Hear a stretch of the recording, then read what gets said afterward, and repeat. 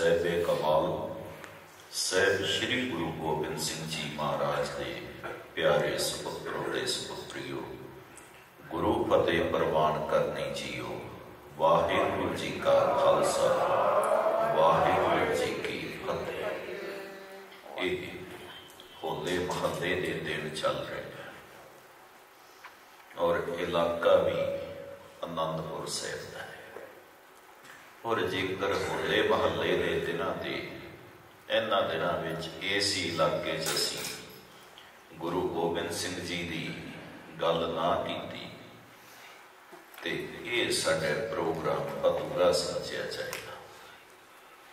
ਅੱਜ ਦਾ ਪ੍ਰੋਗਰਾਮ ਸਮਰਪਿਤ ਹੈ। ਸਹਿਬੇ ਕਮਾਲ ਸਹਿਬ ਸ੍ਰੀ ਗੁਰੂ ਗੋਬਿੰਦ ਸਿੰਘ ਜੀ ਮਹਾਰਾਜ ਇਸ ਪਰ ਦੁਨੀਆ ਤੇ ਪਰਿਪੂਰਨ ਪਰਮਾਤਮਾ ਦੇ ਦੋ ਸਰੂਪ ਬ੍ਰਹਮ ਗਿਆਨੀਆਂ ਨੇ ਦੱਸੇ ਹੈ। ਇੱਕ ਸਰੂਪ ਉਸ ਪਰਮਾਤਮਾ ਦਾ ਨਿਰਗੁਣ ਹੈ ਔਰ ਦੂਸਰਾ ਸਰੂਪ ਸਰਗੁਣ ਹੈ। ਹੁਣ ਕੋਈ ਇਹ ਵੀ ਕਹਿ ਸਕਦਾ ਹੈ ਇਹ ਨਿਰਗੁਣ ਤੇ ਸਰਗੁਣ ਕੀ ਹੈ। ਜਿਹੜੀ ਚੀਜ਼ ਅਸੀਂ ਆਪਣੀ ਅੱਖ ਦੇ ਨਾਲ ਦੇਖ ਸਕਦੇ ਹਾਂ ਤੇ ਦੂਸਰੇ ਨੂੰ ਵਿਖਾ ਸਕਦੇ ਹੈ। ਉਹ ਸਰਗੁਣ ਹੈ। ਆ ਮਾਈਕ ਹੈ। ਮੈਨੂੰ ਵੀ ਦਿਸ ਰਿਹਾ ਹੈ ਤੇ ਮੈਂ ਤੁਹਾਨੂੰ ਵੀ ਦਿਖਾ ਸਕਦਾ ਹਾਂ। ਇਹ ਕੈਮਰਾ ਹੈ। ਮੈਨੂੰ ਵੀ ਦਿਸ ਰਿਹਾ ਹੈ, ਮੈਂ ਤੁਹਾਨੂੰ ਵੀ ਦਿਖਾ ਸਕਦਾ ਹਾਂ। ਅੱਖ ਤਾਂ ਸਭ ਨੂੰ ਹੀ ਦਿਸਦੀ ਹੈ, ਪਰ ਅੱਖ ਦੀ ਰੋਸ਼ਨੀ ਕਿਸੇ ਨੂੰ ਨਹੀਂ ਦਿਸਦੀ। ਕੰਨ ਤੇ ਸਭ ਨੂੰ ਹੀ ਦਿਸਦੇ ਹੈ ਪਰ ਕੰਨਾਂ ਦੇ ਦੁਆਰਾ ਸੁਣੀ ਜਾਣ ਵਾਲੀ ਆਵਾਜ਼ ਕਿਸੇ ਨੂੰ ਨਹੀਂ ਦਿਸਦੀ। ਨੱਕ ਤੇ ਸਭ ਨੂੰ ਹੀ ਦਿਸਦੀ ਹੈ ਨੱਕ ਰਹੀ ਲੈਣ ਵਾਲੀ ਹਵਾ ਕਿਸੇ ਨੂੰ ਨਹੀਂ ਦਿਸਦੀ। ਜੋ ਦਿਸ ਜਾਏ, ਉਹ ਸਰਗੁਣ, ਜੋ ਨਾ ਦਿਸੇ, ਉਹ ਨਿਰਗੁਣ। ਔਰ ਗੁਰਬਾਣੀ ਕਹਿੰਦੀ ਹੈ, ਪਰਮਾਤਮਾ ਦੋਨਾਂ ਹੀ ਰੂਪਾਂ 'ਚ ਹੈ। ਨਿਰਗੁਣ ਆਪ, ਸਰਗੁਣ ਵੀ ਉਹੀ ਉਹ ਪਰਿਪੂਰਨ ਪਰਮਾਤਮਾ ਨਿਰਗੁਣ ਵੀ ਹੈ, ਉਹ ਸਰਗੁਣ ਵੀ ਹੈ। ਇੱਕ ਪਾਸੇ ਗੁਰੂ ਨਾਨਕ ਪਾਤਸ਼ਾਹ ਦੋਨਾਂ ਹੀ ਰੂਪਾਂ ਦਾ ਵਰਣਨ ਕਰ ਜਾਂਦੇ ਐ ਸਹਿਸ ਤਵ ਨੈਣ, ਨਨ ਨੈਣ ਹੈ ਤੋਹੇ ਕੋ। ਸਹਿਸ ਪਦ ਵਿਮਲ ਨਨ ਏਕ ਪਦ ਗੰਧ ਬੇਨ, ਸਹਿਸ ਤਵ ਗੰਧੇ ਵਿਚਲਤ ਮੋਹੀ। ਦੋਵੇਂ ਹੀ ਰੂਪਾਂ ਦਾ ਵਰਣਨ ਹੈ। ਇੱਕ ਪਾਸੇ ਤੇਰੀਆਂ ਹਜ਼ਾਰਾਂ ਹੀ ਅੱਖਾਂ ਹੈ ਦੂਸਰੇ ਪਾਸੇ ਤੇਰੀ ਕੋਈ ਅੱਖ ਨਹੀਂ। ਇੱਕ ਪਾਸੇ ਤੇਰੇ ਹਜ਼ਾਰਾਂ ਹੀ ਪੈਰ ਹੈ ਹਜ਼ਾਰਾਂ ਹੀ ਨੱਕਾਂ ਹੈ ਦੂਸਰੇ ਪਾਸੇ ਤੇਰੀ ਕੋਈ ਨੱਕ ਨਹੀਂ, ਕੋਈ ਪੈਰ ਨਹੀਂ। ਪਰਮਾਤਮਾ ਦੇ ਦੋ ਰੂਪ ਜਿਵੇਂ ਪਰਮਾਤਮਾ ਦੇ ਦੋ ਰੂਪ ਹੈ, ਉਸ ਅਕਾਲ ਪੁਰਖ ਪਰਮਾਤਮਾ ਨੇ ਸਾਡੇ ਵੀ ਦੋ ਹੀ ਰੂਪ ਸਿਰਜੇ ਦੋ ਹੀ ਰੂਪ ਨੇ ਸਾਡੇ। ਇੱਕ ਰੂਪ ਤੇ ਸਭ ਨੂੰ ਹੀ ਦਿਸਦਾ ਹੈ। ਇਸ ਵੱਲ ਦੇਖ ਕੇ ਅਸੀਂ ਕਹਿ ਦਿੰਨੇ ਆ ਇਹ ਬੜਾ ਹੀ ਸੋਹਣਾ ਹੈ, ਇਹ ਬੜਾ ਹੀ ਗੋਰਾ ਹੈ, ਇਹ ਬੜਾ ਹੀ ਲੰਬਾ ਹੈ, ਇਹ ਬੜਾ ਹੀ ਤਾਕਤਵਰ ਹੈ। ਇਹਦੇ ਸਰੀਰ ਦੀ ਡੀਲ ਡੋਲ ਬੜੀ ਸੋਹਣੀ ਹੈ। ਇਹ ਬੱਚਾ ਹੈ, ਇਹ ਜਵਾਨ ਹੈ, ਇਹ ਬੁੱਢਾ ਹੈ। ਇਹ ਬਸ ਇਸ ਤਨ ਵੱਲ ਦੇਖ ਕੇ ਕਿਹਾ ਜਾ ਸਕਦਾ ਹੈ, ਸਭ ਨੂੰ ਦਿਸਦਾ ਹੈ, ਦਿਖਾ ਵੀ ਸਕਦੇ ਹਾਂ। ਇੱਕ ਹੈ ਸਾਡਾ ਇਹ ਸਰੀਰ, ਤਨ, ਔਰ ਦੂਸਰਾ ਹੈ ਮਨ। ਇਹਨਾਂ ਦੋਵਾਂ ਤੋਂ ਸਾਡੀ ਯਾਤਰਾ ਵੀ ਸ਼ੁਰੂ ਹੁੰਦੀ ਹੈ। ਤਨ ਦੀ ਯਾਤਰਾ ਬਾਹਰ ਵੱਲ ਹੈ ਔਰ ਜਿਤਨੀ ਯਾਤਰਾ ਬਾਹਰ ਵੱਲ ਜ਼ਿਆਦਾ ਸક્ષਮ ਹੋਏਗੀ, ਉਤਨਾ ਹੀ ਹੰਕਾਰ ਜ਼ਿਆਦਾ ਵਧੇਗਾ। ਕਿਉਂਕਿ ਪਦਾਰਥਾਂ ਦੀ ਯਾਤਰਾ ਹੈ ਬਾਹਰ ਦੀ ਯਾਤਰਾ ਪਦਾਰਥ ਦੀ ਯਾਤਰਾ ਹੈ ਜਿਤਨੀ ਯਾਤਰਾ ਪਦਾਰਥ ਵੱਲ ਵਧੇਗੀ, ਉਤਨਾ ਹੀ ਹੰਕਾਰ ਵਧੇਗਾ। ਮੇਰੇ ਕੋਲ ਇਹ ਵੀ ਹੈ, ਮੇਰੇ ਕੋਲ ਇਹ ਵੀ ਹੈ, ਮੈਂ ਇਹ, ਮੈਂ ਉਹ ਸਭ ਕੁਝ ਹੰਕਾਰ ਵਧੇਗਾ ਯਾਤਰਾ ਪਦਾਰਥ ਵੱਲ। ਔਰ ਜਿਤਨੀ ਯਾਤਰਾ ਅੰਦਰ ਵੱਲ ਵਧੇਗੀ, ਉਤਨਾ ਪਿਆਰ ਵਧੇਗਾ। ਜੋ ਬਾਹਰਲੀ ਯਾਤਰਾ ਦੇ ਵਿੱਚ ਸਭ ਤੋਂ ਮੋਰੀ ਹੋ ਗਿਆ, ਉਹ ਬਾਦਸ਼ਾਹ ਹੈ ਜੋ ਅੰਦਰ ਦੀ ਯਾਤਰਾ ਦੇ ਵਿੱਚ ਸਭ ਤੋਂ ਮੋਹਰੀ ਹੋ ਗਿਆ, ਉਹ ਸੰਤ ਹੈ। ਸੰਤ ਤੇ ਬਾਦਸ਼ਾਹ 'ਚ ਇੰਨਾ ਹੀ ਫ਼ਰਕ ਹੈ, ਇੰਨਾ ਹੀ ਫ਼ਰਕ ਹੈ। ਇੱਕ ਹੰਕਾਰ ਦੀ ਸਿਖਰ ਤੇ ਖੜਾ ਹੈ ਦੂਸਰਾ ਪਿਆਰ ਦੀ ਸਿਖਰ ਤੇ ਖੜਾ ਹੈ ਇੱਕ ਹੰਕਾਰ ਦੇ ਚੌਂਕ ਦੇ ਵਿੱਚ ਖੜਾ ਹੈ ਦੂਸਰਾ ਪਿਆਰ ਦੀ ਗਲੀ ਲਈ ਪ੍ਰੇਰ ਰਿਹਾ ਹੈ। ਦੂਸਰਾ ਕਹਿ ਰਿਹਾ ਹੈ ਜੋ ਤੋਂ ਪ੍ਰੇਮ ਖੇਲਣ ਕਾ ਜਾਓ, ਸਿਰ ਧਰ ਤਲੀ ਗਲੀ ਮੇਰੀ ਆਓ। ਇੱਕ ਦੂਸਰਿਆਂ ਨੂੰ ਮਟਾਉਣ 'ਚ ਲੱਗਾ ਹੈ ਉਹ ਬਾਦਸ਼ਾਹ ਹੈ ਇੱਕ ਆਪਣੇ ਆਪ ਨੂੰ ਮਿਟਾਉਣ 'ਚ ਲੱਗਾ ਹੈ ਉਹ ਸੰਤ ਹੈ ਸੰਤ ਤੇ ਬਾਦਸ਼ਾਹ 'ਚ ਫ਼ਰਕ ਇੰਨਾ ਹੀ ਹੈ, ਜ਼ਿਆਦਾ ਨਹੀਂ ਹੈ। ਇੱਕ ਹੰਕਾਰ ਆਸ਼ਰਤ ਜਿਉ ਰਿਹਾ ਹੈ ਔਰ ਹੰਕਾਰ ਵਿੱਚ ਕਹਿ ਰਿਹਾ ਹੈ ਸਭ ਕੁਝ ਮੇਰੀ ਮੁਠੀ 'ਚ ਹੀ ਹੋਣਾ ਚਾਹੀਦਾ ਹੈ। ਸਭ ਕੁਝ ਮੇਰੀ ਮੁਠੀ 'ਚ। ਆ ਸੀਰੀਆ 'ਚ ਲੜਾਈ ਚੱਲ ਰਹੀ ਹੈ ਕਾਦੀ ਲੜਾਈ ਹੈ ਇੱਕ ਹੀ ਲੜਾਈ ਹੈ ਇਹ ਮੇਰੀ ਮੁਠੀ 'ਚ ਚਾਹੀਦਾ ਹੈ, ਮੁਠੀ 'ਚ ਚਾਹੀਦਾ ਹੈ। ਬਾਦਸ਼ਾਹ ਅੰਦਰ ਇਹ ਹਵਸ ਹੁੰਦੀ ਹੈ ਚਾਹੇ ਉਹ ਬਾਦਸ਼ਾਹ ਛੋਟਾ ਹੈ ਚਾਹੇ ਵੱਡਾ ਹੈ। ਹੁਣ ਇਹ ਪੂਰਾ ਸੰਸਾਰ ਤੇ ਬਾਦਸ਼ਾਹਾਂ ਦੀ ਮੁਠੀ 'ਚ ਆ ਜਾਂਦਾ ਹੈ ਕਿਉਂਕਿ ਸੰਸਾਰ ਦੀਆਂ ਪਦਾਰਥ ਖਲੋੜਾ ਹੈ। ਇਸ ਕਰਕੇ ਸੰਸਾਰੀ ਬੰਦਿਆਂ ਨੂੰ ਬਾਦਸ਼ਾਹ ਅੱਗੇ ਝੁਕਣਾ ਹੀ ਪੈਂਦਾ ਹੈ, ਝੁਕਣਾ ਹੀ ਪੈਂਦਾ ਹੈ। ਸੰਤ ਦੀਆਂ ਲੋੜਾਂ ਆਤਮਿਕ ਨੇ, ਪਦਾਰਥਿਕ ਨਹੀਂ ਹੈ।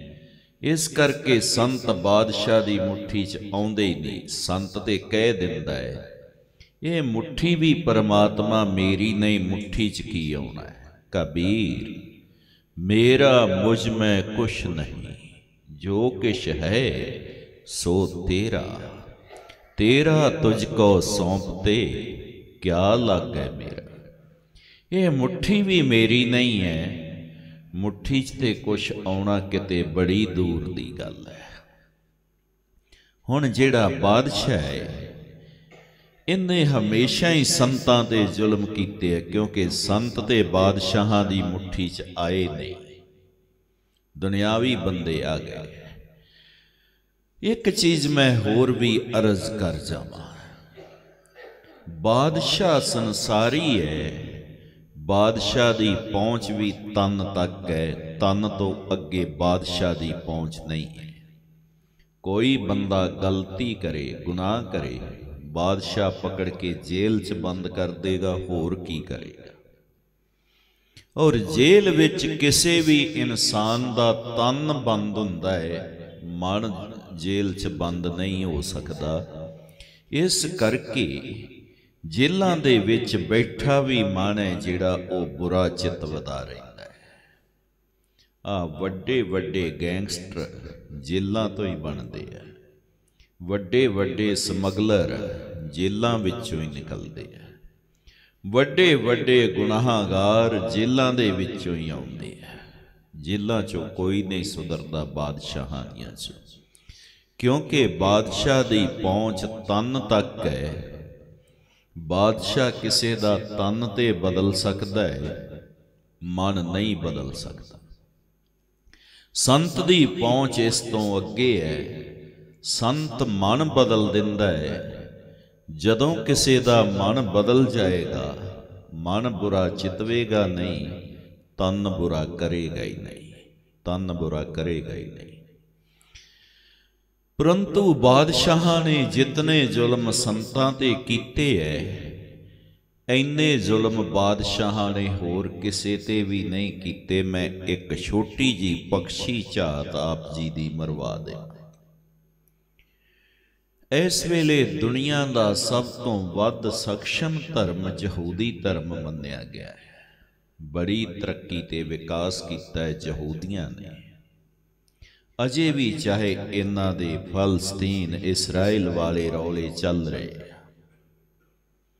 ਪਰੰਤੂ ਦੁਨੀਆ ਦੇ ਵਿੱਚ ਪਦਾਰਥਵਾਦ ਦੀ ਦੌੜ ਵਿੱਚ ਸਭ ਤੋਂ ਅੱਗੇ ਯਹੂਦੀ ਹੈ, ਸਭ ਤੋਂ ਅੱਗੇ ਯਹੂਦੀ ਨੇ।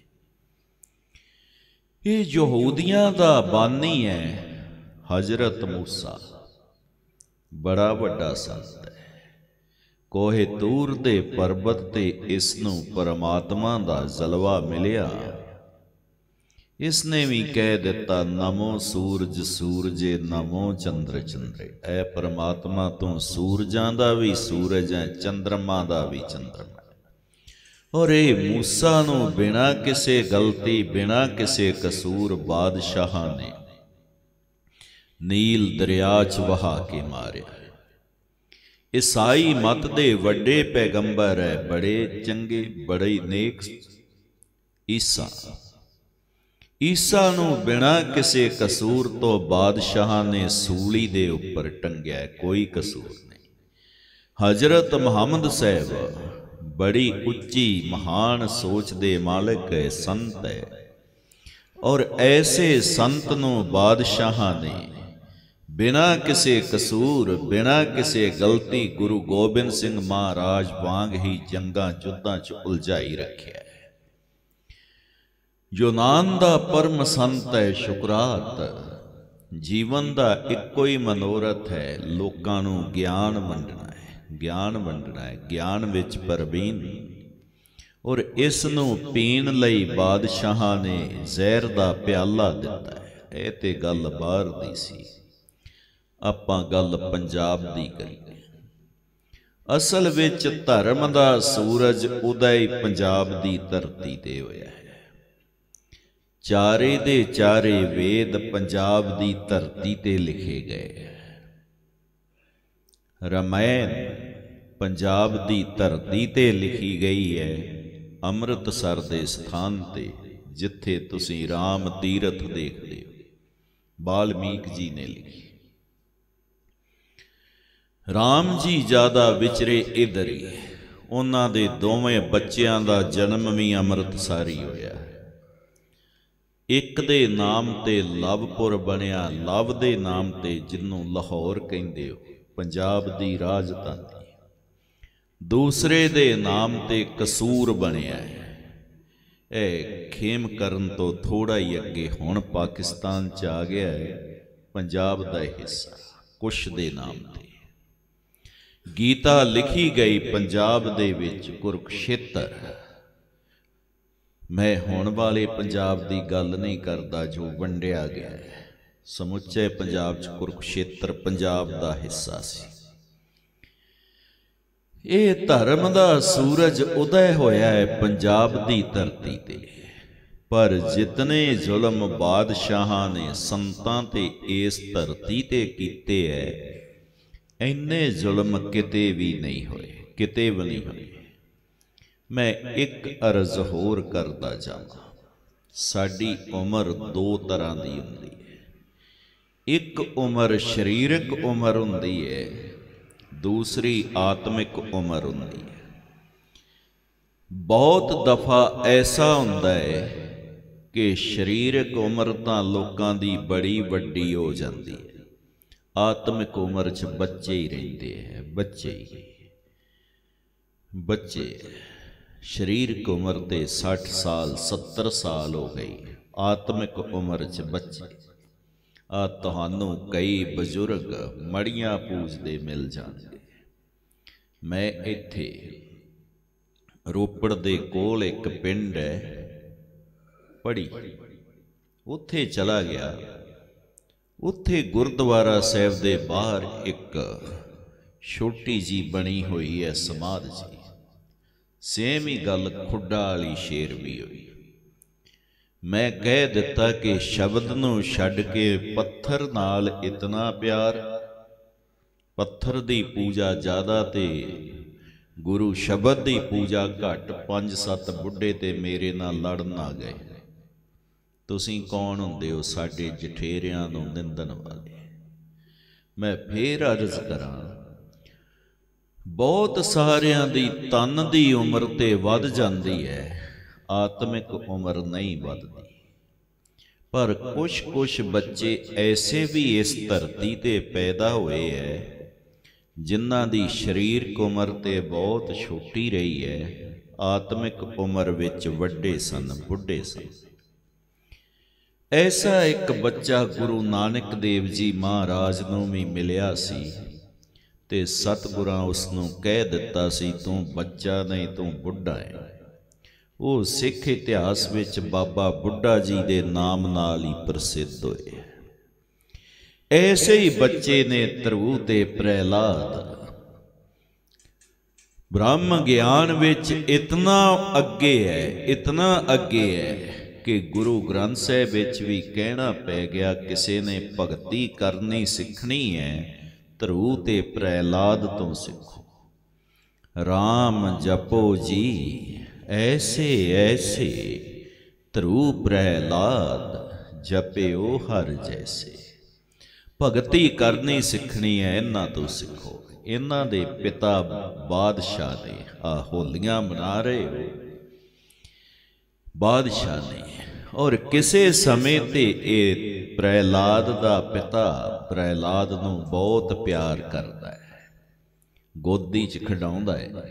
ਮੇਰਾ ਪੁੱਤ ਵੱਡਾ ਸੰ ਬਾਦਸ਼ਾਹ ਬਣੇ। ਇਸੇ ਵਾਸਤੇ ਉਸਤਾਦ ਵੀ ਰੱਖੇ ਹੋਏ ਐ, ਸੰਡਾ ਤੇ ਮਰਕਾ। ਪਰ ਜਦੋਂ ਪਤਾ ਚੱਲਦਾ ਹੈ ਮੇਰਾ ਪੁੱਤ ਸੰਤ ਬਣ ਗਿਆ ਹੈ ਬਸ ਇੰਨਾ ਹੀ ਕਸੂਰ ਹੈ ਪੁੱਤ ਦਾ। ਕੋਈ ਕਸੂਰ ਨਹੀਂ, ਕੋਈ ਚੋਰੀ ਨਹੀਂ, ਕੋਈ ਡਾਕਾ ਨਹੀਂ, ਕੋਈ ਕਤਲ ਨਹੀਂ। ਇੰਨਾ ਹੀ ਕਸੂਰ ਹੈ ਪੁੱਤ ਸੰਤ ਬਣ ਗਿਆ ਹੈ ਪਿਤਾ ਪੁੱਤ ਦਾ ਦੁਸ਼ਮਣ ਬਣ ਗਿਆ ਹੈ ਪ੍ਰਹਿਲਾਦ ਨੂੰ ਮਾਰਨ ਲਈ ਕੀ ਕੁਝ ਨਹੀਂ ਕੀਤਾ ਇਸ ਹਰਨਾਖਸ਼ ਨੇ। ਸ਼੍ਰੀ ਰਾਮਚੰਦਰ ਜੀ ਸੰਤ ਹੈ। ਪਿਤਾ ਦਸ਼ਰਥ ਬਾਦਸ਼ਾਹ ਹੈ ਪਿਤਾ ਹੀ ਪੁੱਤ ਨੂੰ 14 ਸਾਲ ਦਾ ਬਨਵਾਸ ਦੇ ਰਿਹਾ ਹੈ। ਇਹ ਤੇ ਗੱਲ ਛੱਡੋ, ਹੋਰ ਇੱਕ ਇਹ ਬਾਦਸ਼ਾਹ ਦੇ ਜ਼ੁਲਮ ਦੀ ਕਹਾਣੀ ਸੁਣੋ। ਅਸਲ ਵਿੱਚ ਇੱਕ ਸੁਭਾਵਕ ਨੁਕਤਾ ਹੈ। ਹਮੇਸ਼ਾ ਮਾਂ ਦਾ ਜ਼ਿਆਦਾ ਪਿਆਰ ਪੁੱਤ ਦੇ ਨਾਲ ਹੋਵੇਗਾ ਔਰ ਪਿਓ ਦਾ ਜ਼ਿਆਦਾ ਪਿਆਰ ਧੀ ਨਾਲ ਹੋਵੇਗਾ। ਇਹ ਇੱਕ ਨੁਕਤਾ ਹੈ। ਬਹੁਤ ਇਹ ਸੁਭਾਵਕ ਹੈ, ਕੁਦਰਤੀ ਹੈ। ਪੁੱਤ ਜਦੋਂ ਵੀ ਵਿਗੜੇਗਾ, ਦੋਸ਼ ਮਾਂ ਤੇ ਹੀ ਜਾਂਦਾ ਹੈ। ਇਹਦੇ ਹੀ ਪਿਆਰ ਨੇ ਵਿਗਾੜਿਆ ਹੈ। ਨਹੀਂ ਤੇ ਨਹੀਂ ਵਿਗੜਨਾ ਸੀ। ਇਹਦੇ ਹੀ ਵਿਗਾੜਿਆ ਹੈ। ਪਿਓ ਪੁੱਤ ਦੀ ਤੇ ਆਪਸ ਵਿੱਚ ਖਿਜ-ਖਿਜ ਚੱਲਦੀ ਰਹਿੰਦੀ ਹੈ। ਨਹੀਂ ਅੜਦੀ। ਪਿਓ ਦਾ ਹਮੇਸ਼ਾ ਜਿੰਨਾ ਧਿਆਨ ਧੀ ਰੱਖਦੀ ਹੈ ਇੰਨਾ ਪੁੱਤ ਕਦੇ ਨਹੀਂ ਰੱਖਦਾ ਨਹੀਂ ਰੱਖਦਾ। ਹੁਣ ਇਹ ਤੇ ਤੁਸੀਂ ਜਾਣਦੇ ਹੋ, ਪੱਟੀ ਦੇ ਰਾਜੇ ਦੀਆਂ ਧੀਆਂ ਨੇ ਸੱਤ। ਇੱਕ ਦਿਨ ਸਭ ਨੂੰ ਪੁੱਛਦਾ ਹੈ ਕਿਸ ਦਾ ਦਿੱਤਾ ਖਾਂਦੀਆਂ ਛੇ ਤੇ ਕਹਿੰਦੀਆਂ, ਤੁਹਾਡਾ ਪਰ ਇੱਕ ਸੰਤ ਸੁਭਾਅ ਧੀ ਦੇ ਮੁਖ ਚੋਂ ਬਚਨ ਨਿਕਲ ਗਏ। ਪਰਮਾਤਮਾ ਦਾ ਦਿੱਤਾ ਖਾਂਦੀ ਹੈ। ਇਹੀ ਵਚਨ ਬਾਦਸ਼ਾਹ ਦੇ ਹਿਰਦੇ ਤੇ ਸੱਪ ਬਣ ਕੇ ਲੜ ਗਏ ਔਰ ਆਪਣੀ ਧੀ ਦੀ ਸ਼ਾਦੀ ਕੋੜੇ ਦੇ ਨਾਲ ਕਰਵਾ ਦਿੱਤੀ ਹੈ। ਦੁੱਖ ਭੰਜਨੀ ਬੇਰੀ ਇਸ ਗੱਲ ਦੀ ਗਵਾਹੀ ਅੱਜ ਵੀ ਭਰ ਰਹੀ ਹੈ, ਇੱਕ ਬਾਦਸ਼ਾਹ ਕਿੰਨਾ ਜ਼ਾਲਮ ਹੋ ਸਕਦਾ ਹੈ। ਕੰਸ ਮਾਮਾ ਹੈ ਕ੍ਰਿਸ਼ਨ ਦਾ। ਕ੍ਰਿਸ਼ਨ ਜੀ ਨੂੰ ਮਾਰਨ ਲਈ ਕੰਸ ਨੇ ਕੀ ਨਹੀਂ ਕੀਤਾ? ਸਾਰੇ ਯਤਨ ਕੀਤੇ। ਕੰਸ ਜੀ, ਕ੍ਰਿਸ਼ਨ ਜੀ ਬਚ ਗਏ ਹੈ ਬਾਬਾ ਆਨੰਦ ਦੀ ਕਿਰਪਾ ਦੇ ਨਾਲ ਕੰਸ ਨੇ ਤੇ ਕੁਝ ਵੀ ਘਟ ਨਹੀਂ ਕੀਤਾ। ਬਾਦਸ਼ਾਹ ਕਹਿੰਦਾ ਮੇਰੀਆਂ ਜੇਲਾਂ ਚੋਰਾਂ ਲਈ, ਡਾਕੂਆਂ ਲਈ, ਕਾਤਲਾਂ ਲਈ, ਲੁਟੇਰਿਆਂ ਲਈ ਨੇ। ਪਰ ਹੈਰਾਨੀ ਹੁੰਦੀ ਹੈ ਇਹੋ ਹੀ ਬਾਦਸ਼ਾਹ ਜੇਲ੍ਹ ਵਿੱਚ ਪਕੜ ਕੇ ਬੰਦ ਕਰਦਾ ਹੈ। ਗੁਰੂ ਨਾਨਕ ਦੇਵ ਜੀ ਵਰਗੇ ਸੰਤ। ਨੂੰ ਬਾਦਸ਼ਾਹ ਕਹਿੰਦਾ ਹੈ, ਮੈਂ ਚੰਗੇ ਨੇਕ ਲੋਕਾਂ ਦੀ ਰੱਖਿਆ ਲਈ ਆ, ਪਰ ਸ਼ੇਰਸ਼ਾ ਸੂਰੀ ਦਾ ਭਜਾਇਆ ਹੋਇਆ ਹੈ ਮਾਂਜੂ ਬਾਦਸ਼ਾਹ। ਆ ਕੇ ਗੁਰੂ ਅੰਗਦ ਦੇਵ ਜੀ ਮਹਾਰਾਜ ਤੇ ਤਲਵਾਰ ਵੀ ਕੱਢ ਲੈਂਦਾ ਹੈ। ਗੁਰੂ ਸਾਹਿਬ ਜਦੋਂ ਬੱਚਿਆਂ ਨੂੰ ਗੁਰਮਤ ਦੀ ਵਿੱਦਿਆ ਦੇ ਰਹੇ, ਤਲਵਾਰ ਵੀ ਕੱਢਦਾ ਹੈ। ਅਜੇ ਤੱਕ ਤੁਸੀਂ ਪੂਰੀ ਦੁਨੀਆ ਦਾ ਇਤਿਹਾਸ ਫਰੋਲ ਕੇ ਦੇਖ ਲਵੋ। ਕਦੇ ਕਿਸੇ ਬਾਦਸ਼ਾਹ ਨੇ ਵੱਡੇ ਤੋਂ ਵੱਡੇ ਚੋਰ, ਡਾਕੂ, ਕਾਤਲ, ਲੁਟੇਰੇ ਨੂੰ ਵੀ ਤੱਤੀ ਤਵੀ ਤੇ ਨਹੀਂ ਬਿਠਾਇਆ। ਪਰ ਇਹ ਬਾਦਸ਼ਾਹ ਤੱਤੀ ਤਵੀ ਤੇ ਬਿਠਾਲ ਰਿਹਾ ਹੈ। ਗੁਰੂ ਅਰਜਨ ਸਾਹਿਬ ਵਰਗੇ ਪਰਮ ਸੰਤ ਨੂੰ ਸਮਝਣਾ ਅਤ ਮੁਸ਼ਕਲ ਹੈ, ਅਤ ਮੁਸ਼ਕਲ ਹੈ। ਹੈਰਾਨੀ ਹੁੰਦੀ ਹੈ ਕਿਤੇ ਇਹ ਬਾਦਸ਼ਾਹ, ਗੁਰੂ ਤੇਗ ਬਹਾਦਰ ਸਾਹਿਬ ਵਰਗੇ ਪਰਮ ਸੰਤ ਦਾ ਸ਼ੀਸ਼ ਚਾਂਦਨੀ ਚੌਂਕ ਵਿੱਚ ਕਤਲ ਕਰ ਰਿਹਾ ਹੈ। ਕਿਤੇ ਕਿਸੇ ਪਰਮ ਸੰਤ ਭਾਈ ਮਤੀ ਦਾਸ ਜੀ ਨੂੰ ਆਰੇ ਨਾਲ ਚੀਰ ਰਿਹਾ ਹੈ। ਕਿਤੇ ਭਾਈ ਦਿਆਲਾ ਜੀ ਨੂੰ ਦੇਗ ਵਿੱਚ ਉਬਾਲ ਰਿਹਾ ਹੈ। ਕਿਤੇ ਇਹ ਭਾਈ ਸਤੀ ਦਾਸ ਜੀ ਨੂੰ ਰੋਈ 'ਚ ਲਪੇਟ ਕੇ ਸਾੜ ਰਿਹਾ ਹੈ। ਇਤਨਾ ਜ਼ਾਲਮ ਹੋ ਸਕਦਾ ਹੈ ਬਾਦਸ਼ਾਹ। ਉਸ ਦੀ ਉਦਾਹਰਨਾ ਇਹ ਹੀ ਹੈ। ਪਰ ਇਸ ਦੁਨੀਆ ਤੇ ਇੱਕ ਐਸੇ ਵੀ ਦਰਵੇਸ਼ ਬਾਦਸ਼ਾਹ ਹੋਏ ਹੈ, ਜਿਹੜੇ ਸੰਤਾਂ ਤੇ ਜ਼ੁਲਮ ਕਰਨ ਲਈ ਨਹੀਂ, ਸੰਤਾਂ ਦੀ ਬਾਹ ਪਕੜਨ ਲਈ ਆਏ ਜਿਨ੍ਹਾਂ ਦਾ ਨਿਸ਼ਾਨਾ ਹੈ ਸੰਤਾਂ ਮਾਨੂ, ਦੂਤਾਂ ਡਾਨੂ, ਇਹ ਕੁਟਵਾਰੀ ਮੇਰੀ। ਮੇਰਾ ਕੰਮ ਮੇਰੇ ਜੀਵਨ ਦਾ ਮਨੋਰਥ। ਚੰਗੇ ਨੇਕ ਧਰਮੀ ਲੋਕਾਂ ਦੀ ਪੂਜਾ ਕਰਨਾ ਹੈ ਔਰ ਜਿਹੜੇ ਦੁਸ਼ਟ ਲੋਕ ਹੈ, ਦੁਸ਼ਟਾਂ ਨੂੰ ਡੰਡ ਦੇਣਾ ਹੈ। ਇਸੇ ਹੀ ਮਨੋਰਥ ਲਈ ਇਸ ਧਰਤੀ ਤੇ ਇਹ ਦਰਵੇਸ਼ ਬਾਦਸ਼ਾਹ ਗੁਰੂ ਗੋਬਿੰਦ ਸਿੰਘ ਮਹਾਰਾਜ ਆਏ। ਉਹਨਾਂ ਦੇ ਬਾਰੇ ਚ ਭਾਈ ਸਾਹਿਬ ਭਾਈ ਨੰਦ ਲਾਲ ਜੀ ਦੇ ਇਹ ਬਚਨ ਬੜੇ ਬਾ ਕਮਾਲ ਨੇ। ਹੱਕ ਹੱਕ ਅੰਦੇਸ਼, ਗੁਰੂ ਗੋਬਿੰਦ ਸਿੰਘ। ਬਾਦਸ਼ਾਹ ਦਰਵੇਸ਼, ਗੁਰੂ ਗੋਬਿੰਦ ਸਿੰਘ। ਇਹ ਗੁਰੂ ਗੋਬਿੰਦ ਸਿੰਘ ਮਹਾਰਾਜ ਦਰਵੇਸ਼ ਵੀ ਹੈ, ਬਾਦਸ਼ਾਹ ਵੀ ਹੈ। ਇੱਕ ਪੱਖ ਇਹਨਾਂ ਦਾ ਦੇਖੀਏ ਤੇ ਇਹ ਸ਼ੈਨ ਸ਼ਾਹਾਂ ਦੇ ਵੀ ਸ਼ੈਨ ਸ਼ਾਹ ਹੱਕ ਹੱਕ ਅਗਾਹ ਗੁਰੂ ਗੋਬਿੰਦ ਸਿੰਘ, ਸ਼ਾਹੇ ਸ਼ੈਨ ਸ਼ਾਹ। ਗੁਰੂ ਗੋਬਿੰਦ ਸਿੰਘ, ਗੁਰੂ ਗੋਬਿੰਦ ਸਿੰਘ ਮਹਾਰਾਜ ਸ਼ੈਨ ਸ਼ਾਹਾਂ ਦੇ ਵੀ ਸ਼ੈਨ ਸ਼ਾਹ ਇਹ ਸਤਿਗੁਰਾਂ ਦਾ ਪ੍ਰਕਾਸ਼ ਜਦੋਂ ਪਟਨਾ ਸਾਹਿਬ ਦੀ ਧਰਤੀ ਤੇ ਹੁੰਦਾ ਹੈ, ਤਾਂ ਇੱਕ ਮੁਸਲਮ ਫਕੀਰ ਪਟਨਾ ਸਾਹਿਬ ਵੱਲ ਮੂੰਹ ਕਰਕੇ ਸਜਦਾ ਕਰਦਾ ਹੈ, ਪਟਿਆਲੇ ਦੇ ਠਸਕੇ ਤੇ। ਔਰ ਚੇਲੇ ਪੁੱਛਦੇ ਐ, ਅੱਜ ਦਾ ਸਜਦਾ ਤੁਸੀਂ ਮੱਕੇ ਦੀ ਜਗ੍ਹਾ ਇਧਰ ਨੂੰ ਕਿਉਂ ਕੀਤਾ? ਅੱਜ ਇਸ ਪਾਸੇ ਵੱਲ ਦਰਵੇਸ਼ਾਂ ਦੇ ਬਾਦਸ਼ਾਹ ਦਾ ਅਵਤਾਰ ਹੋਇਆ ਹੈ ਅੱਜ ਦਾ ਸਜਦਾ ਉਹਨਾਂ ਦੇ ਚਰਨਾਂ 'ਚ ਹੈ ਚਲੋ ਫਿਰ ਦਰਸ਼ਨ ਕਰਾਓ। ਔਰ ਇਹ ਫਿਰ ਫਕੀਰਾਂ ਦੇ ਕਾਫਲੇ ਨੂੰ ਨਾਲ ਲੈ ਕੇ ਚੱਲ ਪੈਂਦੇ ਐ। ਪਹੁੰਚ ਜਾਂਦੇ ਐ ਪਟਨਾ ਸਾਹਿਬ। ਦਰਸ਼ਨ ਕਰਾਉਂਦੇ ਐ ਔਰ ਦਰਸ਼ਨ ਕਰਦਿਆਂ ਅੱਗੇ ਦੋ ਕੁੱਜੇ ਵੀ ਕਰਦੇ ਆ ਪਹਿਲਾਂ ਦਰਵੇਸ਼ ਬਾਦਸ਼ਾਹ ਦੋਹਾਂ ਕੁੱਜਿਆਂ ਤੇ ਹੱਥ ਰੱਖਦੇ ਐ, ਫਿਰ ਉਹ ਕੁੱਜੇ ਰੋੜ ਵੀ ਦਿੰਦੇ ਐ। ਹੁਣ ਨਾਲ ਗਏ ਮਰੀਦ ਪੁੱਛਦੇ ਐ, ਇਹ ਗੱਲ ਕੀ ਪੀਰ ਜੀ? ਪਹਿਲੇ ਹੱਥ ਰੱਖੇ, ਫਿਰ ਰੋੜ ਵੀ ਦਿੱਤੇ।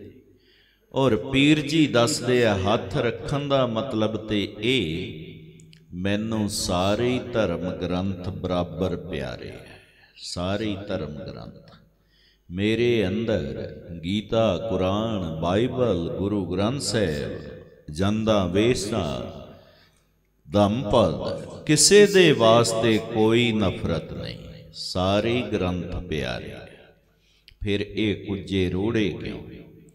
ਰੋੜੇ ਇਸ ਲਈ।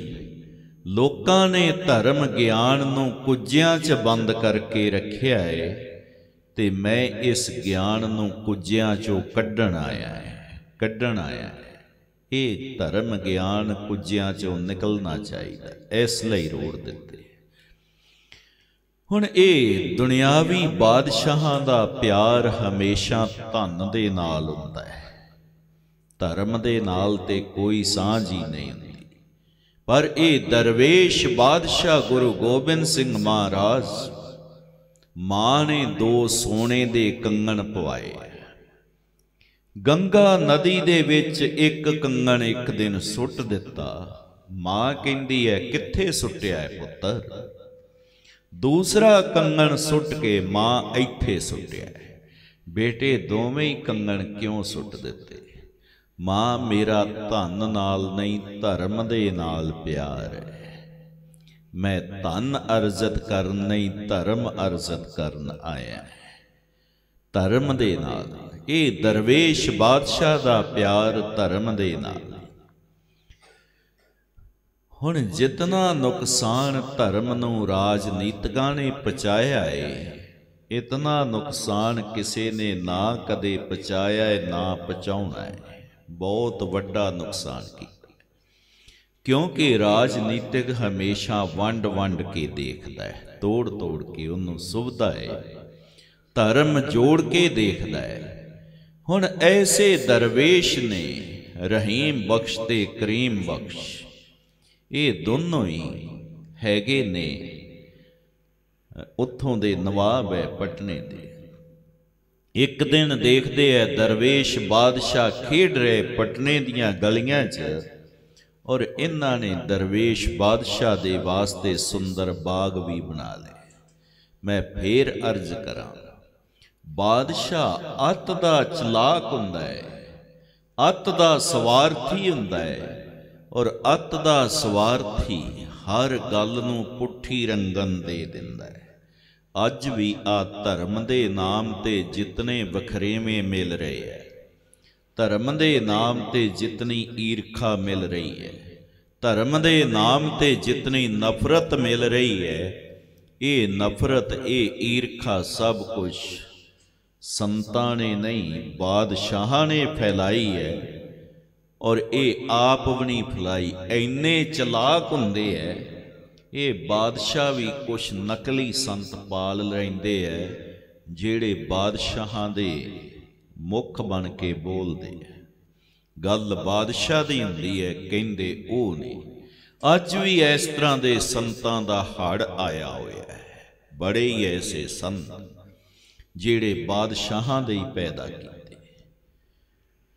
ਜੋ ਕਿਸੇ ਸਮੇਂ ਤੇ ਕਹਿੰਦੇ ਸਨ, ਵੱਡੀ ਕ੍ਰਾਂਤੀ ਲਿਆ ਦਾਂਗੇ, ਮੈਂ ਤੇ ਕਈ ਵਾਰ ਹੈਰਾਨ ਹੁੰਦਾ ਹੈ ਮੈਂ ਸਿਆਸੀ ਬੰਦਾ ਨਹੀਂ ਹੈ ਸਿਆਸੀ ਗੱਲਾਂ ਮੈਨੂੰ ਕਰਨ ਦੇ ਵਿੱਚ ਕੋਈ ਇੰਟਰਸਟ ਵੀ ਨਹੀਂ ਪਰ ਕਈ ਦਫਾ ਗੱਲ ਮੁੱਖ ਚੋਂ ਨਿਕਲ ਜਾਂਦੀ ਹੈ ਇੱਕ ਸੰਤ ਜਦੋਂ ਡਾਕਟਰ ਮਨਮੋਹਨ ਸਿੰਘ ਦੀ ਸਰਕਾਰ ਹੁੰਦੀ ਸੀ, ਉਦੋਂ ਬਸ ਇਹੀ ਕਹਿੰਦਾ ਹੁੰਦਾ ਸੀ ਇਸ ਇਸ ਨੂੰ ਬਾਦਸ਼ਾਹ ਬਣਾਓ। ਹਰ ਭਾਰਤੀ ਦੇ ਅਕਾਊਂਟ ਵਿੱਚ 15 15 ਲੱਖ ਆ ਜਾਣਗੇ। ਹਰ ਭਾਰਤੀ ਦੇ ਅਕਾਊਂਟ 'ਚ। ਕਹਿੰਦਾ ਹੁੰਦਾ ਸੀ ਥਾਂ ਥਾਂ ਤੇ ਉਹਨੇ ਬੋਲਣਾ, ਬੜੇ ਡਰਾਮੇ ਕੀਤੇ, ਬੜੀਆਂ ਭੁੱਖ ਹੜਤਾਲਾਂ ਕੀਤੀਆਂ। ਹੁਣ ਉਹੀ ਬਾਦਸ਼ਾਹ ਬਣਿਆ ਹੈ। ਇੱਕ ਪਾਸੇ ਉਸ ਸੰਤ ਦੇ ਤੇ ਸਾਰੇ ਪ੍ਰੋਡਕਟਾਂ ਤੇ ਜੀਐਸਟੀ ਮਾਫ ਕਰ ਦਿੱਤੀ ਹੈ ਔਰ ਦੂਸਰੇ ਪਾਸੇ ਦਰਬਾਰ ਸਾਹਿਬ ਤੇ ਜੀਐਸਟੀ ਟੈਕਸ ਲਗਾ ਦਿੱਤੇ ਹੈ। ਇਧਰ ਟੈਕਸ, ਉਧਰ ਮਾਫ। ਕਾਰਨ ਇਹ ਇਹ ਬਾਦਸ਼ਾਹ ਬੜੇ ਭੈੜੇ ਹੈ ਸ਼ੁਰੂ ਤੋਂ ਹੀ ਭੈੜੇ ਰਹੇ ਆ ਹੁਣ ਨਹੀਂ, ਸ਼ੁਰੂ ਤੋਂ ਹੀ ਭੈੜੇ ਰਹੇ ਨੇ। ਮੇਰਾ ਤੇ ਵਾਹ ਇਹਨਾਂ ਨਾਲ ਬੜਾ ਹੀ ਪੈਂਦਾ। ਸ਼ੁਰੂ ਤੋਂ ਹੀ ਭੈੜੇ ਹੈ ਹੁਣ ਦੂਸਰੇ ਪਾਸੇ ਹੈ ਸੰਤ। ਸੰਤਾਂ ਦੇ ਵਿੱਚ ਕੋਈ ਤੇਰ ਮੇਰ ਨਹੀਂ ਹੁੰਦਾ। ਔਰ ਮੈਂ ਕਹਿੰਦਾ ਜੇ ਕਿਸੇ ਸੰਤ ਦੇ ਵਿੱਚ ਦੂਸਰੇ ਸੰਤ ਪ੍ਰਤੀ ਨਫ਼ਰਤ ਹੈ ਸਮਝ ਲੈਣਾ ਉਹ ਤਨ ਕਰਕੇ ਸੰਤ ਹੈ ਮਨ ਕਰਕੇ ਤੇ ਉਹ ਸਿਆਸੀ ਬੰਦਾ ਹੈ ਰਾਜਨੀਤਿਕ ਹੈ। ਕੱਪੜੇ ਹੀ ਬਦਲੇ ਹੈ ਮਨ ਨਹੀਂ ਬਦਲਿਆ। ਪਰ ਅਸਲ ਸੰਤ ਹੈ ਪੰਡਤ ਸ਼ਿਵ ਸ਼ਿਵਦੱਤ। ਇਹ ਦਰਵੇਸ਼ ਬਾਦਸ਼ਾਹ ਦੇ ਦਰਸ਼ਨਾਂ ਦੀ ਲੋਚਾ ਰੱਖਦਾ ਹੈ, ਦਰਵੇਸ਼ ਬਾਦਸ਼ਾਹ ਜਾ ਕੇ ਦਰਸ਼ਨ ਵੀ ਦਿੰਦੇ ਜਿਤਨਾ ਜ਼ਾਲਮ ਦੁਨਿਆਵੀ ਬਾਦਸ਼ਾਹ ਹੋ ਸਕਦਾ ਹੈ, ਹੋਰ ਕੋਈ ਨਹੀਂ ਹੋ ਸਕਦਾ, ਮੈਂ ਉਦਾਹਰਨ ਦੇਵਾਂ। ਸ਼ਾਹ ਜਹਾਨ ਆਪਣੇ ਪਿਤਾ ਜਹਾਂਗੀਰ ਦੇ ਵਿਰੁੱਧ ਬਗਾਵਤ ਕਰਕੇ ਬਾਦਸ਼ਾਹ ਬਣਿਆ ਔਰ ਸ਼ਾਹ ਜਹਾਨ ਦੇ ਬੇਟੇ ਔਰੰਗਜ਼ੇਬ ਨੇ ਤਾਂ ਆਤੀ ਮਚਾ ਦਿੱਤੀ। ਆਪਣੇ ਹੀ ਪਿਤਾ ਨੂੰ ਪਕੜ ਕੇ ਜੇਲ੍ਹ 'ਚ ਬੰਦ ਕਰ ਲੈਂਦਾ ਹੈ। ਔਰ ਪਿਤਾ ਜੇਲ੍ਹ ਦੇ ਵਿੱਚੋਂ ਇੱਕ ਚਿੱਠੀ ਵੀ ਲਿਖਦਾ ਹੈ।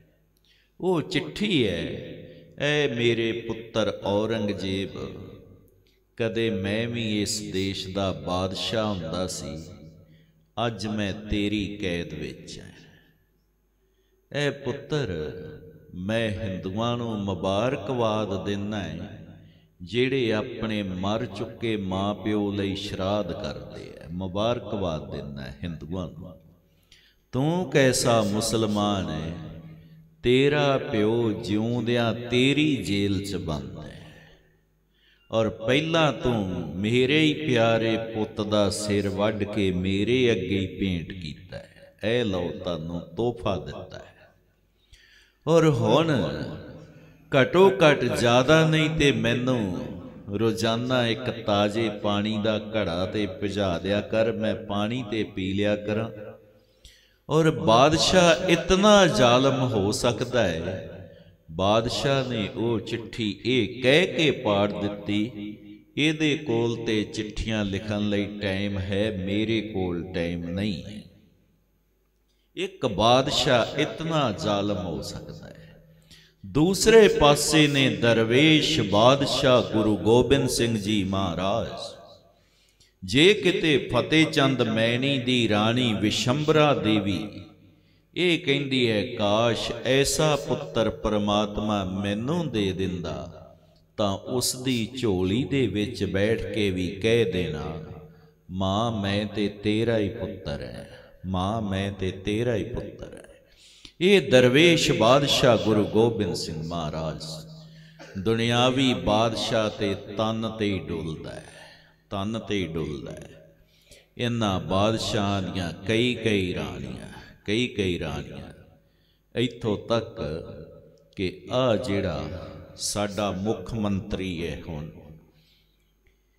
ਇਹਦੇ ਦਾਦਾ ਜੀ ਦੀਆਂ 360 ਰਾਣੀਆਂ ਦੱਸੀ ਦੀਆਂ ਬਾਦਸ਼ਾਹ ਸਿਰਫ ਤਨ ਤੋਂ ਅੱਗੇ ਨਹੀਂ ਵੱਧ ਸਕੇ। ਪਰ ਦਰਵੇਸ਼ ਬਾਦਸ਼ਾਹ ਨੇ ਤੋੜਿਆ ਇੱਕ ਘੜਾ। ਮਾਂ ਪੁੱਛਦੀ ਹੈ ਘੜਾ ਕਿਉਂ ਤੋੜਿਆ? ਮਾਂ, ਮੈਂ ਇਹ ਕਹਿਣਾ ਚਾਹਣਾ ਹੈ ਤਨ ਦੀ ਨਹੀਂ, ਆਤਮਾ ਦੀ ਫਿਕਰ ਕਰੋ। ਇਹ ਤਨ ਤੇ ਘੜਾ ਏ। ਇੱਕ ਦਿਨ ਇਸ ਘੜੇ ਨੇ ਟੁੱਟੀ ਜਾਣਾ ਹੈ ਕਦੋਂ ਤੱਕ ਰੱਖੋਗੇ? ਇਹ ਤੇ ਘੜਾ ਏ। ਕਾਹੇ ਰੇ ਨਰ ਗਰਭ ਕਰਤ ਹੋ? ਬਿਨ ਸਜਾਏ ਝੂਠੀ ਦੇਹੀ। ਇਸ ਘੜੇ ਨੇ ਤਾਂ ਇੱਕ ਦਿਨ ਟੁੱਟ ਹੀ ਜਾਣਾ ਹੈ, ਮੈਂ ਕਹਿੰਨਾ ਪਰਮਾਤਮਾ ਦੀ ਫਿਕਰ ਕਰ। ਦੁਨਿਆਵੀ ਬਾਦਸ਼ਾਹ ਹਮੇਸ਼ਾ ਹੀ ਆਪਣੇ ਤੋਂ ਵੱਡੇ ਬਾਦਸ਼ਾਹ ਦੇ ਅਧੀਨ ਚੱਲਦਾ ਹੈ, ਛੋਟਿਆਂ ਨੂੰ ਅਧੀਨ ਕਰਦਾ ਹੈ। ਵੱਡੇ ਬਾਦਸ਼ਾਹ ਦੇ। ਬਸ ਆਪਣੇ ਤੋਂ ਵੱਡਾ ਚਾਹੀਦਾ ਹੈ ਕੁਝ ਵੀ ਹੋ ਜਾਏ, ਉਹਦੇ ਵਿਰੁੱਧ ਦੋ ਸ਼ਬਦ ਨਹੀਂ ਬੋਲੇਗਾ। ਛੋਟਿਆਂ ਦੀ ਤਾਂ ਆਫਤ ਆ ਜਾਂਦੀ ਹੈ। ਹੁਣ ਐਸਾ ਹੀ ਬਾਦਸ਼ਾਹ ਲੰਘ ਰਿਹਾ ਹੈ ਪਟਨਾ ਸ਼ਹਿਰ ਵਿੱਚੋਂ। ਉਸ ਦਾ ਇੱਕ ਅਹਿਲਕਾਰ ਆ ਕੇ ਕਹਿੰਦਾ ਹੈ, ਬੱਚਿਓ ਐਂ ਦੀ ਨਵਾਬ ਦੀ ਸਵਾਰੀ ਲੰਘ ਰਹੀ ਸਲਾਮ ਕਰਨੀ ਹੈ। ਪਰ ਦਰਵੇਸ਼ ਬਾਦਸ਼ਾਹ ਗੁਰੂ ਗੋਬਿੰਦ ਸਿੰਘ ਸਾਥੀਆਂ ਨੂੰ ਕਹਿੰਦੇ ਐ ਨਹੀਂ ਸਲਾਮ ਕਰਾਂਗੇ। ਆਏਗਾ ਮੂੰਹ ਚੜਾਵਾਂਗੇ, ਤਾੜੀਆਂ ਵਜਾਵਾਂਗੇ, ਦੌੜ ਜਾਵਾਂਗੇ। ਐਸੇ ਤਰ੍ਹਾਂ ਹੀ ਕੀਤਾ। ਉਸ ਬੰਦੇ ਨੇ ਚਿੱਠੀ ਵੀ ਲਿਖਤੀ, ਸ਼ਿਕਾਇਤਾਂ ਭਰੀ ਗੁਰੂ ਤੇਗ ਬਹਾਦਰ ਸਾਹਿਬ ਜੀ। ਗੋਬਿੰਦ ਨੇ ਬਾਦਸ਼ਾਹਾਂ ਦਾ ਮੂੰਹ ਚੜਾਇਆ ਹੈ ਤੇ ਤੁਸੀਂ ਗੋਬਿੰਦ ਨੂੰ ਸਮਝਾ ਦੇਵੋ, ਬਾਦਸ਼ਾਹਾਂ ਨਾਲ ਕਿਸ ਤਰ੍ਹਾਂ ਪੇਸ਼ ਆਉਣਾ ਚਾਹੀਦਾ? ਬਾਦਸ਼ਾਹਾਂ ਦਾ ਸਤਕਾਰ ਕਰ। ਅੱਗੋਂ ਗੁਰੂ ਤੇਗ ਬਹਾਦਰ ਸਾਹਿਬ ਜੀ ਮਹਾਰਾਜ ਨੇ ਇੱਕ ਹੁਕਮਨਾਮਾ ਭੇਜਿਆ ਹੈ ਪਟਨੇ ਦੀ ਸੰਗਤ ਦੇ ਨਾਮ। ਉਹਦੀ ਇਬਾਰਤ ਇਸ ਤਰ੍ਹਾਂ ਹੈ, ਗੋਬਿੰਦ ਜੋ ਕੀਆ ਸੋ ਭਲਾ ਕੀਆ।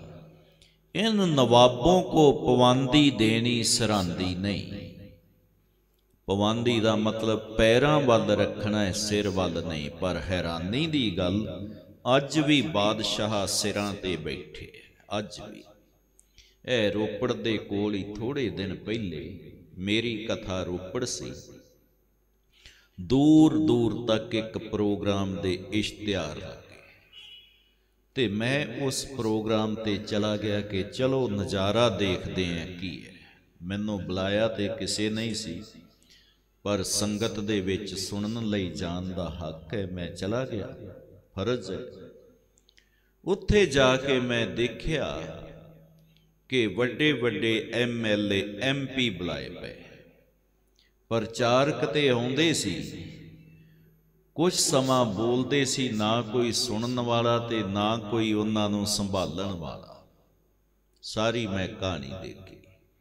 ਪਰ ਜਦੋਂ ਹੁਣ ਮੈਂ ਨਾਮ ਨਹੀਂ ਲਵਾਂਗਾ, ਕਿਉਂਕਿ ਮੀਡੀਆ ਲੱਗਾ ਤੇ ਮੀਡੀਆ 'ਚ ਕਿਸੇ ਦਾ ਵੀ ਨਾਮ ਲੈ ਕੇ ਅਟੈਕ ਕਰਨਾ ਉਹ ਤੇ ਸਿਆਣਪ ਨਹੀਂ ਹੁੰਦੀ। ਬੜੇ ਬਖੇੜੇ ਪੈਂਦੇ ਆ। ਇਹ ਜੋ ਚੱਲ ਰਿਹਾ ਹੈ ਪ੍ਰੋਗਰਾਮ, ਇਹ ਦੂਰ ਤੱਕ ਜਾ ਰਿਹਾ ਹੈ ਔਰ ਪਰਮਾਨੈਂਟਲੀ ਹੈ। ਇੰਨਾ ਮੈਂ ਕਹਾਂਗਾ, ਫਿਰ ਉੱਥੇ ਉਹਨਾਂ ਨੇ ਜਦੋਂ ਐਮਐਲਏ ਐਮਪੀਆਂ ਦੀ ਧਾੜ ਬੁਲਾਈ। ਸਾਰੇ ਹੀ ਉਹਨਾਂ ਨੂੰ ਸੁਣਨ ਆਏ। ਸਾਰੇ ਔਰ ਉਹਨਾਂ ਨੇ ਜੋ ਜ਼ਹਿਰ ਉਗਲੀ, ਜੋ ਉਹਨਾਂ ਨੇ ਉੱਥੇ ਬੋਲਿਆ, ਮੈਂ ਕਹਿ ਰਿਹਾ ਸੀ ਕਿ ਅੱਜ ਦੇ ਬੰਦੇ ਨੇ ਇਹਨਾਂ ਬਾਦਸ਼ਾਹਾਂ ਨੂੰ ਸਰਾਂਦੀ ਦਿੱਤੀ ਹੋਈ ਹੈ, ਸੰਤਾਂ ਨੂੰ ਪਵੰਦੀ ਦਿੱਤੀ ਹੋਈ ਹੈ। ਮੈਨੂੰ ਮਸਕੀਨ ਸਾਹਿਬ ਦੀ ਯਾਦ ਆ ਗਈ। ਗੱਲ ਪੁੰਨੇ ਦੀ ਹੈ। ਪੁੰਨੇ ਵਿੱਚ ਮਸਕੀਨ ਸਾਹਿਬ ਚਲੇ ਗਏ। ਉਹਨਾਂ ਵੀ ਇਸ ਤਰ੍ਹਾਂ ਹੀ ਰਾਜਨੇਤਾ ਬੁਲਾ ਲਏ। ਹੁਣ ਮਸਕੀਨ ਸਾਹਿਬ ਤੇ ਸਟੇਜ ਤੇ ਬੈਠੇ ਕਥਾ ਲਈ। ਰਾਜਨੇਤਾ ਆਉਂਦੇ ਆਂ ਮੈਂ ਜਲਦੀ ਚ ਪਹਿਲੇ ਟਾਈਮ ਦੇ ਦੋ। ਮਸਕੀਨ ਜੀ ਬੈਠੇ ਰਹੇ। ਇਸ ਤਰ੍ਹਾਂ ਸਟੇਜ ਤੇ ਤੇ ਉਹ ਬੋਲਣ ਲੱਗ ਗਿਆ। ਉਹ ਬੋਲ ਕੇ ਹਟਿਆ ਤੇ ਸਰੋਪੇ ਪਾਉਣ ਪਵਾਨ ਲੱਗ ਗਏ। ਸਰੋਪੇ ਲਏ ਤੇ ਸਾਰੇ ਉਹਦੇ ਨਾਲ ਭੱਜ ਗਏ। ਸਿਰਫ 5 ਜਾਂ 7 ਬੰਦੇ ਬੈਠੇ ਰਹੇ। ਉਸ ਤੋਂ ਬਾਅਦ ਮਸਕੀਨ ਜੀ ਨੇ ਉਹਨਾਂ ਬੜਾ ਬੁਲਾਇਆ, ਨਹੀਂ ਗਏ। ਜਦੋਂ ਕਿਤੇ ਗੱਲ ਹੋਣੀ ਮਸਕੀਨ ਜੀ ਨੇ ਕਹਿ ਦੇਣਾ, ਇਹ ਲੋਕ ਬਾਦਸ਼ਾਹਾਂ ਨੂੰ ਸਰਾਂਦੀ ਦਿੰਦੇ ਐ, ਪ੍ਰਚਾਰਕਾਂ ਨੂੰ ਪਵੰਦੀ ਦਿੰਦੇ ਐ, ਨਹੀਂ ਜਾਵਾਂਗੇ। ਇਹ ਤੇ ਸਿਰਫ ਸਾਡਾ ਵਿਖਾਵਾ ਕਰਦੇ ਐ, ਲੋਕ ਸਾਡੇ ਨਾਂ ਤੇ ਇਕੱਠੇ ਕਰਦੇ ਐ ਤੇ ਵੋਟਾਂ ਬਾਦਸ਼ਾਹਾਂ ਨੂੰ ਪਵਾਉਣ ਲਈ। ਇਹ ਕੋਈ ਧਰਮ ਲਈ ਨਹੀਂ ਕਰਦਾ। ਦਰਵੇਸ਼ ਬਾਦਸ਼ਾਹ ਨੇ ਐਸੇ ਬਾਦਸ਼ਾਹਾਂ ਦਾ ਮੂੰਹ ਚੜਾਇਆ ਹੈ। ਗੁਰੂ ਤੇਗ ਬਹਾਦਰ ਸਾਹਿਬ ਮਹਾਰਾਜ ਨੇ ਕਹਿ ਦਿੱਤਾ, ਇਨ ਬਾਦਸ਼ਾਹੋਂ ਕੋ ਪਵੰਦੀ ਦੇਣੀ ਸਰਾਂਦੀ ਨਹੀਂ। ਹੁਣ ਬੜੀ ਵੱਡੀ ਪ੍ਰੇਰਨਾਦਾਇਕ ਇੱਕ ਕਹਾਣੀ ਦਰਵੇਸ਼ ਬਾਦਸ਼ਾਹ ਜੀ ਦੇ ਜੀਵਨ ਚੋਂ ਮਿਲਦੀ ਹੈ। ਦਾਣਾਪੁਰ ਮੰਡੀ ਦੇ ਵਿੱਚ ਇੱਕ ਮਾਂ ਜਮਨਾ ਦੇਵੀ, ਉਸਨੇ ਸਤਗੁਰਾਂ ਦਾ ਨਾਸ਼ਤਾ ਵਰਚ ਲਿਆ। ਖਿਚੜੀ ਬਣਾ ਲਈ। ਔਰ ਸਤਗੁਰੂ ਜਦ ਪਹੁੰਚੇ, ਉਹਨੇ ਖਿਚੜੀ ਬਣਾਈ ਥੋੜੀ ਜੀ, ਪਰ ਸਤਗੁਰਾਂ ਦੇ ਨਾਲ ਸੰਗਤ ਬਹੁਤ ਜ਼ਿਆਦਾ ਬਹੁਤ ਜ਼ਿਆਦਾ। ਹੁਣ ਮਾਤਾ ਸੋਚਦੀ ਹੈ, ਜੱਗ ਹਸਾਈ ਹੋਵੇਗੀ। ਐਦੋਂ ਚੰਗਾ ਇਹ ਖਿਚੜੀ, ਹੁਣ ਸੰਭਾਲ ਤੋਂ ਵਰਤੋ ਨਾ ਨਾ ਮੰਡੋ ਦਰਵੇਸ਼ ਬਾਦਸ਼ਾਹ ਕਹਿੰਦੇ ਆ, ਮਾਂ, ਜੇ ਨੀਅਤ ਰਾਸ ਹੋਵੇ, ਰੱਬ ਵਿੱਚ ਵਿਸ਼ਵਾਸ ਹੋਵੇ, ਕਦੇ ਕੁਛ ਨਹੀਂ ਥੁੜਦਾ, ਕਦੇ ਕੁਛ ਨਹੀਂ ਥੁੜਦਾ। ਆ ਬਚਨ ਸਾਰੇ ਗੁਰੂ ਗੋਬਿੰਦ ਸਿੰਘ ਜੀ ਦੇ ਪੱਲੇ ਬੰਨ ਲਿਓ, ਪੱਲੇ ਬੰਨ ਲਿਓ। ਜੇ ਨੀਅਤ ਰਾਸ ਹੋਵੇ ਰੱਬ ਵਿੱਚ ਵਿਸ਼ਵਾਸ ਹੋਵੇ, ਕਦੇ ਕੁਛ ਨਹੀਂ ਥੁੜਦਾ, ਕਦੇ ਕੁਛ ਨਹੀਂ ਥੁੜਦਾ। ਇਨ੍ਹਾਂ ਬਾਦਸ਼ਾਹਾਂ ਦੀ ਨੀਅਤ ਰਾਸ ਨਹੀਂ ਹੈ, ਰੱਬ 'ਚ ਵਿਸ਼ਵਾਸ ਨਹੀਂ ਹੈ। ਰੋਜ਼ ਹੀ ਗੈਸ, ਪੈਟਰੋਲ ਦੇ ਰੇਟ ਵਧਾ ਰਹੇ ਹੈ, ਟੋਲ ਟੈਕਸ ਲਗਾ ਰਹੇ ਹੈ, ਜੀਐਸਟੀਆਂ ਲਗਾ ਰਹੇ ਹੈ, ਸਭ ਕੁਝ ਕਰ ਰਹੇ ਨੇ। ਗੁਰਦੁਆਰਿਆਂ ਨੂੰ ਵੀ ਜੀਐਸਟੀਆਂ ਤੋਂ ਨਹੀਂ ਛੂਟ, ਪਰ ਸਭ ਕੁਝ ਕਰਨ ਤੋਂ ਬਾਅਦ ਫੇਰ ਵੀ ਇਹਨਾਂ ਦੇ ਖਜ਼ਾਨੇ ਖਾਲੀ, ਕਿਉਂਕਿ ਨੀਅਤ ਰਾਸ ਨਹੀਂ ਹੈ। ਆ ਥੋੜਾ ਚਿਰ ਪਹਿਲਾਂ ਹੀ ਇੱਕ ਸੱਜਣ ਨੇ ਤੇ ਕਹਿ ਦਿੱਤਾ ਸੀ, ਡਾਕਟਰ ਮਨਮੋਹਨ ਸਿੰਘ ਤੋਂ ਬਾਅਦ ਕਿ ਇਹ ਜੋ ਕਰ ਰਹੇ ਹੈ, ਇੱਕ ਦਿਨ ਐਸਾ ਆਉਣਾ ਹੈ ਇਹਨਾਂ ਦੇ ਸਾਰੇ ਪੈਸੇ ਲੈ ਕੇ ਵਿਦੇਸ਼ ਦੌੜ ਜਾਣਾ ਹੈ ਵੱਡੇ ਵੱਡੇ ਉਦਯੋਗਪਤੀਆਂ। ਐਸੇ ਹੀ ਹੋਇਆ ਇਹ ਬਾਦਸ਼ਾਹਾਂ ਦੀ ਨੀਅਤ ਰਾਸ ਨਹੀਂ ਹੈ। ਔਰ ਮੇਰਾ ਇੱਕ ਵਿਸ਼ਵਾਸ ਹੈ, ਉਹ ਵਿਸ਼ਵਾਸ ਮੈਂ ਤੁਹਾਨੂੰ ਦੱਸਦਾ ਜੋ ਮੇਰਾ ਪਰਖਿਆ ਹੋਇਆ ਹੈ। ਕਰੀਬ ਮੇਰੇ ਇਹ ਪ੍ਰਚਾਰ ਵੱਲ ਆਉਣ ਦੀ ਰੁਚੀ ਤਾਂ ਮੇਰੀ ਪਿਛਲੇ 15 16 ਸਾਲਾਂ ਤੋਂ ਸੀ, ਪਰ ਨਹੀਂ ਆ ਰਿਹਾ ਸੀ। ਕਾਰਨ ਇਹ ਸੀ, ਮੈਂ ਜਦੋਂ ਕਿਸੇ ਨੂੰ ਮਿਲਣਾ, ਉਸਨੇ ਕਹਿਣਾ, ਇਧਰ ਨਾ ਆਉਣਾ, ਬੜੀ ਬੁਰੀ ਹਾਲਤ ਹੈ, ਬੜੀ ਬੁਰੀ ਹਾਲਤ ਹੈ। ਇਸ ਲਾਈਨ ਵੱਲੇ ਨਾ ਪੈਣਾ। ਔਰ ਮੈਂ ਵੀ ਉਹਨਾਂ ਦੇ ਇਹ ਬੋਲਣ ਤੋਂ ਰੁਕਦਾ ਰਿਹਾ। ਅੰਤ ਨੂੰ ਕੁਛ ਹਾਲਾਤ ਐਸੇ ਬਣੇ ਕਿ ਮੈਨੂੰ ਪ੍ਰਚਾਰ ਵੱਲ ਆਉਣਾ ਹੀ ਪਿਆ, ਨੌਕਰੀ ਛੱਡਣੀ ਪਈ, ਪ੍ਰਮਾਤਮਾ ਨੂੰ, ਗੁਰੂ ਨੂੰ ਮਨਜ਼ੂਰ ਸੀ। ਤੇ ਜਦੋਂ ਮੈਂ ਇਸ ਪਾਸੇ ਆਇਆ ਹੈ ਮੈਂ ਦੇਖਿਆ ਕਿ ਮੇਰੇ ਗੁਰੂ ਨੇ ਔਰ ਗੁਰੂ ਰੂਪ ਸੰਗਤਾਂ ਨੇ ਜਿੰਨਾ ਮੈਂ ਸੋਚਿਆ ਹੈ ਉਸ ਤੋਂ ਹਮੇਸ਼ਾ ਹੀ ਦੁੱਗਣਾ ਦਿੱਤਾ ਹੈ ਮੈਨੂੰ ਕਦੇ ਟੋਟ ਆਉਣ ਹੀ ਨਹੀਂ ਦਿੱਤੀ, ਕਦੇ ਟੋਟ ਨਹੀਂ ਆਈ। ਗੁਰੂ ਗੋਬਿੰਦ ਸਿੰਘ ਮਹਾਰਾਜ ਦੇ ਇਹ ਬਚਨ ਬੜੇ ਕਾਬਲੇ ਤਾਰੀਫ ਨੇ। ਮਾਤਾ, ਨੀਅਤ ਰਾਸ ਹੋਵੇ, ਰੱਬ ਵਿੱਚ ਵਿਸ਼ਵਾਸ ਹੋਵੇ, ਕਦੇ ਕੋਈ ਟੋਟ ਨਹੀਂ ਆਉਂਦੀ, ਕਦੇ ਕੁਛ ਨਹੀਂ ਥੁੜਦਾ। ਹੁਣ ਇਹ ਦਰਵੇਸ਼ ਬਾਦਸ਼ਾਹ ਗੁਰੂ ਗੋਬਿੰਦ ਸਿੰਘ ਜੀ ਮਹਾਰਾਜ ਨਾਲ ਇਤਨਾ ਪਿਆਰ ਕਿ ਜੇ ਕਿਤੇ ਦਰਵੇਸ਼ ਬਾਦਸ਼ਾਹ ਜੀ ਦੇਖਦੇ ਐ ਇੱਕ ਫਕੀਰ, ਜਿਸ ਦਾ ਨਾਮ ਹੈ ਪੀਰ ਮੁਹੰਮਦ। ਇਹ ਕੁਰਾਨ ਦੇ ਬਹੁਤ ਵੱਡੇ ਵਿਦਵਾਨ ਅਰਬੀ ਫਾਰਸੀ ਦੇ ਆਲਮ ਫਾਜ਼ਲ ਜਾ ਰਹੇ ਹੈ ਦਰਵੇਸ਼ ਬਾਦਸ਼ਾਹ ਨੇ ਬੁਲਾ ਲਿਆ, ਆਓ, ਤੁਹਾਡਾ ਅਸਲ ਸਥਾਨ ਆਨੰਦਪੁਰ ਸਾਹਿਬ। ਤੁਹਾਨੂੰ ਉੱਥੇ ਹਰ ਸਹੂਲਤ, ਸੁਵਿਧਾ ਮਿਲੇਗੀ। ਆਓ ਤੁਸੀਂ ਆਨੰਦਪੁਰ ਸਾਹਿਬ। ਮੈਂ ਤੁਹਾਡੀ ਗੋਦ ਵਿੱਚ ਬੈਠ ਕੇ ਕੁਰਾਨ ਦੀ ਤਾਲੀਮ, ਅਰਬੀ ਫਾਰਸੀ ਦੀ ਤਾਲੀਮ ਤੁਹਾਡੇ ਤੋਂ ਲੈਣੀ ਹੈ ਔਰ ਇਸ ਨੂੰ ਵੀ ਸੰਭਾਲਿਆ ਹੈ। ਮੈਂ ਤੇ ਕਈ ਵਾਰ ਹੈਰਾਨ ਹੁੰਦਾ ਹੈ। ਸਭ ਤੁਸੀਂ ਬੜੇ ਸੂਝਵਾਨ, ਪਿਆਰੇ ਗੁਰਸਿੱਖ ਬੈਠੇ ਹੋ। ਸਿੱਖੀ ਨੂੰ ਪਿਆਰ ਕਰਨ। ਸਿੱਖੀ ਦੇ ਵਾਅਦੇ ਦੀ ਲੋਚਾ ਰੱਖਣ ਵਾਲੇ ਤੁਸੀਂ ਸਭ ਬੈਠੇ ਹੋ। ਵੀਰ ਕੁਲਦੀਪ ਸਿੰਘ ਜੀ, ਵੀਰ ਗਿੱਲ ਸਾਹਿਬ, ਇਹ ਜਿੰਨੀ ਸੰਗਤ ਸਾਰੀ ਹੈ, ਨਿੱਜੀ ਸਾਂਝ, ਪਿਆਰ ਸਾਰਿਆਂ ਦੇ ਅੰਦਰ। ਇੱਕ ਸਮਾਂ ਐਸਾ ਸੀ, ਦਰਵੇਸ਼ ਬਾਦਸ਼ਾਹ ਗੁਰੂ ਗੋਬਿੰਦ ਸਿੰਘ ਮਹਾਰਾਜ ਅਰਬੀ, ਫਾਰਸੀ ਤੇ ਕੁਰਾਨ ਦੇ ਵਿਦਵਾਨਾਂ ਨੂੰ ਵੀ ਸੰਭਾਲਦੇ ਰਹੇ। ਅਜੋਕਾ ਸਮਾਂ ਐਸਾ ਆ ਗਿਆ ਹੈ, ਇੱਕ ਸਕੂਲ, ਇੱਕ ਕਾਲਜ। ਉਹ ਅੰਗਰੇਜ਼ੀ ਦੇ, ਮੈਥ ਦੇ, ਸਾਇੰਸ ਦੇ ਇੱਕ ਹੀ ਬੰਦਾ 40 40 ਟੀਚਰ ਸੰਭਾਲ ਲੈਂਦਾ 40 40 ਹਜ਼ਾਰ 50 50 ਹਜ਼ਾਰ ਦੇ ਕੇ। ਪਰ ਸਾਰੀ ਕੌਮ ਮਿਲ ਕੇ ਆਪਣੇ ਕੁਝ ਗਿਣੇ ਚੁਣਵੇਂ ਵਿਦਵਾਨਾਂ ਨੂੰ ਵੀ ਨਹੀਂ ਸੰਭਾਲ ਪਾ ਰਹੀ। ਅੱਜ ਇਹ ਮੁਸ਼ਕਲ ਹੈ, ਪਰ ਫਿਰ ਵੀ ਬਹੁਤ ਸਾਰੇ ਤੁਹਾਡੇ ਵਰਗੇ ਗੁਰੂ ਕੇ ਪਿਆਰੇ ਵੀ ਹਨ ਜੋ ਇਸ ਪਾਸੇ ਵੱਲ ਧਿਆਨ ਦੇ ਰਹੇ ਹੈ ਭਲੇ ਤੁਹਾਡੇ ਕੋਲ ਸੋਰਸ ਜ਼ਿਆਦਾ ਨਾ ਹੋਣ, ਪਰ ਵਿਦਵਾਨਾਂ ਨੂੰ ਸੰਭਾਲਣ ਲਈ ਧਿਆਨ ਮੁਬਾਰਕ। ਦੁਨਿਆਵੀ ਬਾਦਸ਼ਾਹ ਆਪਣਾ ਪਰਿਵਾਰ ਬਚਾਉਣ ਲਈ ਦੂਸਰਿਆਂ ਦੇ ਪਰਿਵਾਰ ਖਤਮ ਕਰ ਦਿੰਦਾ ਹੈ। ਪਰ ਦਰਵੇਸ਼ ਬਾਦਸ਼ਾਹ ਗੁਰੂ ਗੋਬਿੰਦ ਸਿੰਘ ਮਹਾਰਾਜ ਦੂਸਰਿਆਂ ਦੇ ਪਰਿਵਾਰ ਬਚਾਉਣ ਲਈ ਆਪਣੇ ਪਿਤਾ ਦੀ ਕੁਰਬਾਨੀ ਦੇ ਦਿੰਦੇ ਆਪਣੇ ਪਿਤਾ ਦੀ। ਇਹ ਦਰਵੇਸ਼ ਬਾਦਸ਼ਾਹ ਗੁਰੂ ਗੋਬਿੰਦ ਸਿੰਘ ਜੀ ਮਹਾਰਾਜ ਦੇ ਨਾਲ ਕਿੰਨਾ ਪਿਆਰ ਹੈ। ਮੈਂ ਇੱਕ ਉਦਾਹਰਨ ਦੇ ਕੇ ਗੱਲ ਅੱਗੇ ਸ਼ੁਰੂ ਕਰਾਂ। ਇਹ ਕਿਵੇਂ ਦੇਖੀਏ ਆਪਾਂ ਕਿੰਨਾ ਪਿਆਰ ਜਰਾ ਮੈਂ ਆਪ ਜੀ ਦੇ ਸਾਹਮਣੇ ਉਦਾਹਰਨ ਰੱਖਾਂ ਇੱਕ। ਇੱਕ ਮੁਸਲਮਾਨ ਕਵੀ ਹੋਏ ਹੈ, ਤੁਸੀਂ ਉਹਨਾਂ ਦਾ ਨਾਮ ਸਾਰਿਆਂ ਹੀ ਸੁਣਿਆ ਹੋਵੇਗਾ।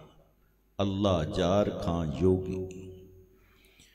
ਅੱਲਾ ਜਾਰ ਖਾਂ ਯੋਗੀ ਨੇ ਸਾਕਾ ਚਮਕੌਰ ਔਰ ਸਾਕਾ ਸਰਹੰਦ ਤੇ ਜੈਸੀਆਂ ਕਵਤਾਵਾਂ ਲਿਖੀਆਂ ਐਸੀਆਂ ਕਵਤਾਵਾਂ ਹੋਰ ਕੋਈ ਨਹੀਂ ਲਿਖ ਪਾਇਆ ਅਜੇ ਤੱਕ। ਜੈਸੀਆਂ ਕਵਤਾਵਾਂ ਲਿਖੀਆਂ ਔਰ ਉਹਦੇ ਜੀਵਨ ਦੀ ਕਹਾਣੀ ਵੀ ਬੜੀ ਪ੍ਰੇਰਨਾਦਾਇਕ ਹੈ ਅਸਲ ਵਿੱਚ ਅੱਲਾ ਯਾਰ ਖਾਂ ਜੋਗੀ ਪਹਿਲਾਂ ਮੁਸਲਮਾਨਾਂ ਦੇ ਮੁਸ਼ਾਇਰਿਆਂ ਕਵੀ ਦਰਬਾਰਾਂ ਵਿੱਚ ਜਾ ਕੇ ਕਵਤਾਵਾਂ ਗਾਉਂਦਾ ਹੁੰਦਾ ਸੀ। ਪਰੰਤੂ ਉੱਥੇ ਜਾਣਾ ਇਸਨੇ ਕਵਤਾਵਾਂ ਤੇ ਪੜ੍ਹਨੀਆਂ, ਪਰ ਕਿਸੇ ਨੇ ਪੈਸਾ ਕੋਈ ਨਾ ਦੇਣਾ। ਕਿਸੇ ਨੇ ਇੱਕ ਸਰੋਪਾ ਦੇ ਕੇ ਤੋਰ ਦੇਣਾ ਤੇ ਕਿਸੇ ਫੁੱਲਾਂ ਦਾ ਗੁਲਦਸਤਾ ਦੇ ਕੇ ਤੋਰ ਦੇਣਾ, ਪੈਸਾ ਕੋਈ ਨਾ ਦੇਣਾ। ਔਰ ਚੁੱਲ੍ਹੇ ਕੋਈ ਗੁਲਦਸਤਿਆਂ ਦੇ ਨਾਲ ਜਾਂ ਸ਼ੌਲਾਂ ਦੇ ਨਾਲ ਨਹੀਂ ਮੰਗਦੇ। ਇਸ ਦੇ ਘਰ ਵਿੱਚ ਗਰੀਬੀ ਅੰਤਾਂ ਦੀ ਛਾ ਗਈ। ਔਰ ਇੱਕ ਦਿਨ ਇਹ ਗੁਰਦੁਆਰਾ ਸਾਹਿਬ ਦੇ ਅੱਗੋਂ ਦੀ ਲੰਘ ਰਿਹਾ ਸੀ। ਜੇਬਾਂ ਵੀ ਖਾਲੀ ਸੀ, ਘਰ ਦੇ ਬਰਤਨ ਵੀ ਖਾਲੀ ਸੀ। ਇਸ ਨੇ ਸੋਚਿਆ, ਚਲੋ ਅੱਜ ਇੱਥੇ ਕਵਤਾਵਾਂ ਲਈ ਵੇਖਦੇ ਆਂ ਕੋਸ਼ਿਸ਼ ਕਰਕੇ। ਅੰਦਰ ਗਿਆ। ਪ੍ਰਬੰਧਕ ਸੱਜਣਾ ਨੂੰ ਕਿਹਾ, ਜੇ ਮੌਕਾ ਦੋ ਤਾਂ ਮੈਂ ਵੀ ਕੋਈ ਇੱਕ ਦੋ ਕਵਤਾਵਾਂ ਸੰਗਤ ਨੂੰ ਸੁਣਾ ਦਿੰਦਾ ਗੁਰੂ ਘਰ ਦੇ ਪ੍ਰਬੰਧਕਾਂ ਨੇ ਮੌਕਾ ਦੇ ਦਿੱਤਾ ਔਰ ਅੱਲਾ ਜਾਰ ਖਾਨ ਨੇ ਕਵਤਾਵਾਂ ਸਾਂਝੀਆਂ ਕੀਤੀਆਂ ਸਾਂਝੀਆਂ ਕੀਤੀਆਂ ਕਵਤਾਵਾਂ। ਔਰ ਸੰਗਤਾਂ ਨੇ ਉਸ ਦੇ ਅੱਗੇ ਮਾਇਆ ਦੀ ਬਹੁਤ ਵੱਡੀ ਢੇਰੀ ਲਾ ਦਿੱਤੀ। ਨਾਲ ਹੀ ਸੰਗਤਾਂ ਨੇ ਅੱਲਾ ਯਾਰ ਖਾਨ ਨੂੰ ਕਹਿ ਦਿੱਤਾ, ਅੱਗੇ ਤੋਂ ਵੀ ਤੂੰ ਆ ਕੇ ਇਹ ਕਵਤਾਵਾਂ ਪੜਿਆ ਕਰ। ਇਹਦੇ ਘਰ ਰੋਟੀ ਰੋਜੀ ਚੱਲਣੀ ਸ਼ੁਰੂ ਹੋ ਗਈ, ਚੁੱਲ੍ਹਾ ਤਪਣਾ ਸ਼ੁਰੂ ਹੋ ਗਿਆ।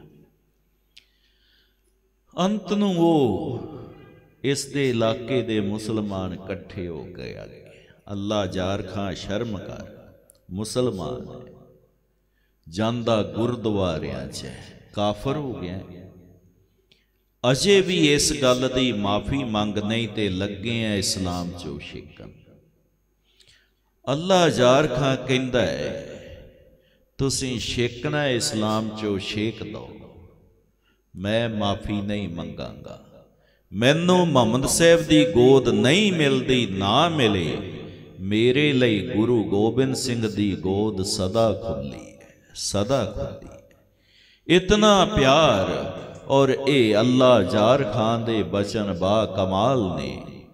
ਇਨਸਾਫ ਕਰੇ ਜੀ ਮੇ ਜਮਾਨਾ ਤੋ ਯਕੀ ਹੈ, ਕਹਿ ਦੋ ਕਿ ਗੁਰੂ ਗੋਬਿੰਦ ਸਿੰਘ ਕਾ ਸਾਨੀ ਹੀ ਕੋਈ ਨਹੀਂ ਹੈ। ਸਾਨੀ ਹੀ ਕੋਈ ਨਹੀਂ ਹੈ। ਇਹ ਗੁਰੂ ਗੋਬਿੰਦ ਸਿੰਘ ਮਹਾਰਾਜ, ਐਸੀ ਸ਼ਖਸੀ ਹੈ ਜਿਨ੍ਹਾਂ ਦੇ ਬਾਰੇ ਚ ਜੇ ਮੈਂ ਗੱਲ ਕਰਾਂ ਤੇ ਅਜੇ ਮੈਂ 2-3 ਦਿਨ ਪਹਿਲੇ ਆਨੰਦਪੁਰ ਸਾਹਿਬ ਗਿਆ ਸੀ। ਉੱਥੇ ਮੈਂ ਖਾਲਸਾ ਕਾਲਜ ਦੇ ਬੱਚਿਆਂ ਦੇ ਲੈਕਚਰ ਲਈ ਜਾਂਦਾ ਹੈ ਔਰ ਮਿਸ਼ਨਰੀ ਕਾਲਜ ਦੇ ਬੱਚਿਆਂ ਨੂੰ ਵੀ ਉੱਥੇ ਲੈਕਚਰ ਦੇਈਦਾ ਹੈ। ਇਸੇ ਤਰ੍ਹਾਂ ਉੱਥੇ ਗਿਆ ਸੀ। ਔਰ ਨਾਲ ਹੀ ਤਖਤ ਸਾਹਿਬ ਵੀ ਗਿਆ, ਮੱਥਾ ਟੇਕਣ। ਔਰ ਪੀਰ ਬੁੱਧੂ ਸ਼ਾਹ ਦਾ ਕੰਗਾ ਕੇਸ਼ ਉੱਥੇ ਪਏ ਮੈਨੂੰ ਦਰਸ਼ਨ ਹੋਏ। ਤਖਤ ਸਾਹਿਬ 'ਚ ਜਿੱਥੇ ਸ਼ਸਤਰ ਪਏ ਆ, ਨਾਲ ਹੀ ਰੱਖੇ। ਔਰ ਮੈਂ ਸੋਚ ਰਿਹਾ ਸੀ, ਕਿਤਨਾ ਪਿਆਰ ਦਰਵੇਸ਼ਾਂ ਦਾ ਆਪਣੇ ਦਰਵੇਸ਼ ਬਾਦਸ਼ਾਹ ਗੁਰੂ ਗੋਬਿੰਦ ਸਿੰਘ ਮਹਾਰਾਜ ਨਾਲ। ਕਿ ਜੇ ਸਤਗੁਰਾਂ ਲਈ ਤਿੰਨ ਪੁੱਤਰ ਕੁਰਬਾਨ ਕਰ ਦਿੱਤੇ ਪੀਰ ਬੁੱਧੂ ਸ਼ਾਹ ਨੇ ਪੰਗਾਣੀ ਦੀ ਲੜਾਈ 'ਚ। ਔਰ ਇੱਕ ਦਿਨ ਦਰਵੇਸ਼ ਬਾਦਸ਼ਾਹ ਮੌਜ ਵਿੱਚ ਆਏ ਤੁਰੇ ਤੇ ਪਹੁੰਚ ਗਏ ਪੀਰ ਬੁੱਧੂ ਸ਼ਾਹ ਦੇ ਘਰ ਸਡੌਰੇ ਕੱਲੇ ਅਸਮਾਨ ਖਾਨ ਨੂੰ ਪਤਾ ਚੱਲਿਆ ਉਹਨੇ ਚਾਰ ਚਫੇਰਿਓਂ ਹੀ ਘੇਰਾ ਪਾ ਔਰ ਪੀਰ ਬੁੱਧੂ ਸ਼ਾਹ ਨੂੰ ਬੁਲਾ ਕੇ ਕਹਿੰਦਾ ਹੈ ਤੁਹਾਡਾ ਪਹਿਲੇ ਹੀ ਬਹੁਤ ਨੁਕਸਾਨ ਹੋਇਆ ਹੈ ਤਿੰਨ ਪੁੱਤਰ ਤੁਹਾਡੇ ਪਹਿਲੇ ਹੀ ਮਾਰੇ ਗਏ ਹੈ ਮੈਂ ਨਹੀਂ ਚਾਹੁੰਦਾ ਹੋਰ ਨੁਕਸਾਨ ਹੋਵੇ। ਇਸ ਲਈ ਆਪ ਹੀ ਘਰ ਜਾਓ, ਗੁਰੂ ਗੋਬਿੰਦ ਸਿੰਘ ਦਾ ਸਿਰ ਵੱਢੋ, ਉਹਦਾ ਖੂਨ ਪਿਆਲੇ 'ਚ ਪਾਓ, ਲਿਆ ਕੇ ਸਾਨੂੰ ਦੇ ਦੇਵੋ, ਅਸੀਂ ਚੱਲਦੇ। ਪੀਰ ਬੁੱਧੂ ਸ਼ਾਹ ਕਹਿੰਦੇ, ਠੀਕ ਹੈ, ਖੜੋ, ਵੇਟ ਕਰੋ। ਪੀਰ ਬੁੱਧੂ ਸ਼ਾਹ ਘਰ ਗਏ। ਆਪਣੇ ਹੀ ਇੱਕ ਪੁੱਤਰ ਦਾ ਸਿਰ ਕੱਟਿਆ, ਉਸ ਦਾ ਖੂਨ ਪਿਆਲੇ 'ਚ ਪਾਇਆ। ਲਿਆ ਕੇ ਕਹਿੰਦੇ, ਇਹ ਲਓ, ਤੁਹਾਡਾ ਕੰਮ ਕਰਤਾ ਜਾਓ। ਬਾਅਦ 'ਚ ਪਤਾ ਚੱਲਿਆ ਕਿ ਪੀਰ ਬੁੱਧੂ ਸ਼ਾਹ ਸਾਡੇ ਨਾਲ ਧੋਖਾ ਕਰ ਗਿਆ ਹੈ। ਆਪਣਾ ਪੁੱਤਰ ਮਾਰ ਕੇ ਖੂਨ ਦੇ ਦਿੱਤਾ ਹੈ ਔਰ ਗੁਰੂ ਗੋਬਿੰਦ ਸਿੰਘ ਜੀ ਨੂੰ ਉੱਥੋਂ ਕੱਢ ਦਿੱਤਾ ਹੈ। ਉਹਨਾਂ ਨੇ ਫੇਰ ਹਮਲਾ ਕੀਤਾ ਔਰ ਪੀਰ ਬੁੱਧੂ ਸ਼ਾਹ ਨੂੰ ਸ਼ਹੀਦ ਕੀਤਾ, ਘਰ ਖਤਮ ਕੀਤਾ। ਭਲੇ ਹੀ ਉਦੋਂ ਤੱਕ ਪੀਰ ਬੁੱਧੂ ਸ਼ਾਹ ਇੱਕ ਪੁੱਤਰ ਨੌਵਾਂ ਤੇ ਪੋਤਰਿਆਂ ਨੂੰ ਸਡੌਰੇ ਤੋਂ ਸਮਾਣੇ ਭੇਜ ਚੁੱਕੇ ਸਨ। ਇਤਨਾ ਦਰਵੇਸ਼ ਬਾਦਸ਼ਾਹ ਦੇ ਵਾਸਤੇ ਪਿਆਰ ਔਰ ਮੈਨੂੰ ਪੰਡਤ ਮਦਨ ਮੋਹਨ ਮਾਲਵਈਆ ਦੇ ਬਚਨ ਯਾਦ ਆ ਗਏ। ਜਿਸ ਨੇ ਬਨਾਰਸ ਹਿੰਦੂ ਯੂਨੀਵਰਸਿਟੀ ਦੀ ਸਥਾਪਨਾ ਕੀਤੀ। ਸੰਤ ਅਤਰ ਸਿੰਘ ਜੀ ਮਸਤੂਆਣੇ ਵਾਲਿਆਂ ਤੋਂ ਨਹੀਂ ਰਖਾਈ। ਕਹਿੰਦਾ ਹੈ, ਐ ਮੇਰੇ ਦੇਸ਼ ਦੇ ਹਿੰਦੂ ਵੀਰੋ, ਤੁਸੀਂ ਜਦੋਂ ਵੀ ਕਿਤੇ ਮੰਦਰ ਦੀਆਂ ਸੀੜੀਆਂ ਚੜ ਰਹੇ ਹੋਇਆ ਕਰੋ, ਕਹਿ ਦਿਆ ਕਰੋ, ਧੰਨ ਗੁਰੂ ਗੋਬਿੰਦ ਸਿੰਘ ਜੀ।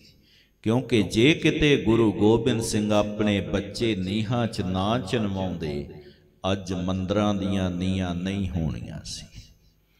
ਤੁਸੀਂ ਜਦੋਂ ਕਿਤੇ ਤਿਲਕ ਲਗਾਇਆ ਕਰੋ, ਉਦੋਂ ਵੀ ਗੁਰੂ ਗੋਬਿੰਦ ਸਿੰਘ ਨੂੰ ਯਾਦ ਕਰ ਲਿਆ ਕਰੋ, ਜੇ ਗੁਰੂ ਗੋਬਿੰਦ ਸਿੰਘ ਦੇ ਬੱਚਿਆਂ ਦਾ ਖੂਨ ਚਮਕੌਰ ਦੇ ਮੈਦਾਨ 'ਚ ਨਾ ਡੁੱਲਦਾ, ਅਜੀਤ ਔਰ ਜੁਝਾਰ ਦਾ, ਇਹ ਮੱਥਿਆਂ ਤੇ ਤਿਲਕ ਨਹੀਂ ਲੱਗਣੇ ਸੀ।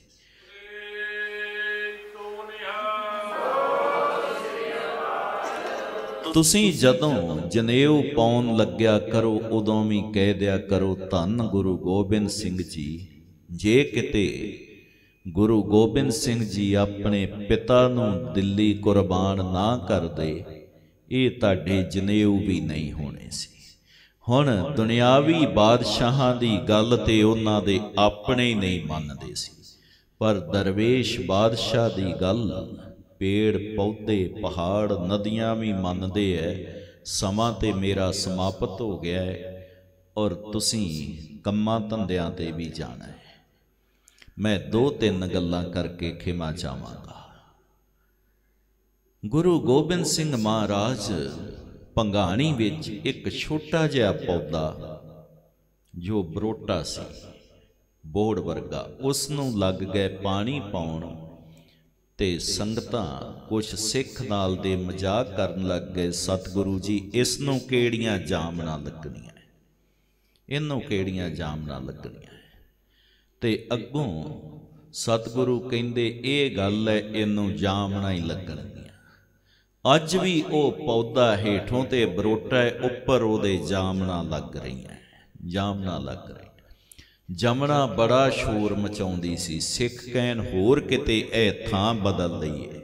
ਸਤਿਗੁਰੂ ਕਹਿੰਦੇ, ਨਹੀਂ, ਥਾਂ ਨਹੀਂ ਬਦਲਣੀ। ਆਪਾਂ ਜਮਣਾ ਨੂੰ ਹੀ ਕਹਿ ਦਿੰਨੇ ਆ, ਇੱਥੋਂ ਸ਼ਾਂਤ ਹੋ ਕੇ ਲੰਘ। ਇਸ ਤਰ੍ਹਾਂ ਦਾ ਪਿਆਰ। ਅੱਜ ਵੀ ਗੁਰੂ ਗੋਬਿੰਦ ਸਿੰਘ ਜੀ ਮਹਾਰਾਜ ਨਾਲ ਸਮੁੱਚੀ ਮਾਨਵਤਾ ਦਾ ਪਿਆਰ ਹੈ। ਸਮੁੱਚੀ ਮਾਨਵਤਾ ਚਾਹੁੰਦੀ ਹੈ ਕਿ ਸਤਿਗੁਰਾਂ ਦੇ ਨਾਲ ਸਾਨੂੰ ਜੋੜੋ, ਪਰ ਅੱਜ ਦੇ ਸਿੱਖ ਯਤਨ ਨਹੀਂ ਕਰ ਰਹੇ। ਸਮੁੱਚੀ ਮਾਨਵਤਾ ਜੁੜਨਾ ਚਾਹੁੰਦੀ ਹੈ।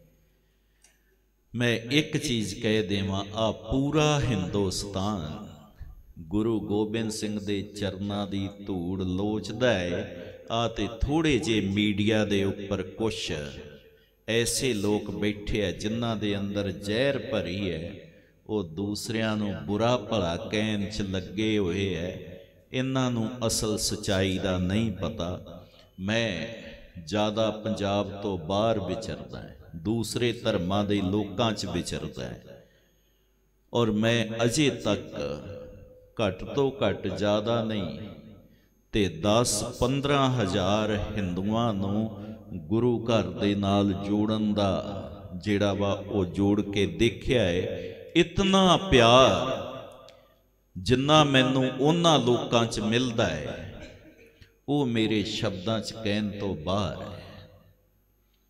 ਅਸੀਂ ਤੇ ਕ੍ਰਿਟੀਸਾਈਜ਼ ਕਰਨ ਤੱਕ ਹੀ ਸੀਮਤ ਹੈ, ਬਸ ਦੂਸਰੇ ਦੀਆਂ ਟੰਗਾਂ ਖਿੱਚਣ ਤੱਕ ਉਹ ਕਿਸੇ ਨੇ ਕੇਕੜੇ ਖਰੀਦੇ ਤੇ ਉਹ ਜਿਸ ਨੇ ਖਰੀਦੇ, ਉਹ ਕਹਿੰਦਾ ਕਿ ਇਹ ਬਾਲਟੀ ਤੇ ਢੱਕਣ ਲਾ ਦੇਵੋ, ਕਿਤੇ ਦੌੜ ਨਾ ਜਾਣ।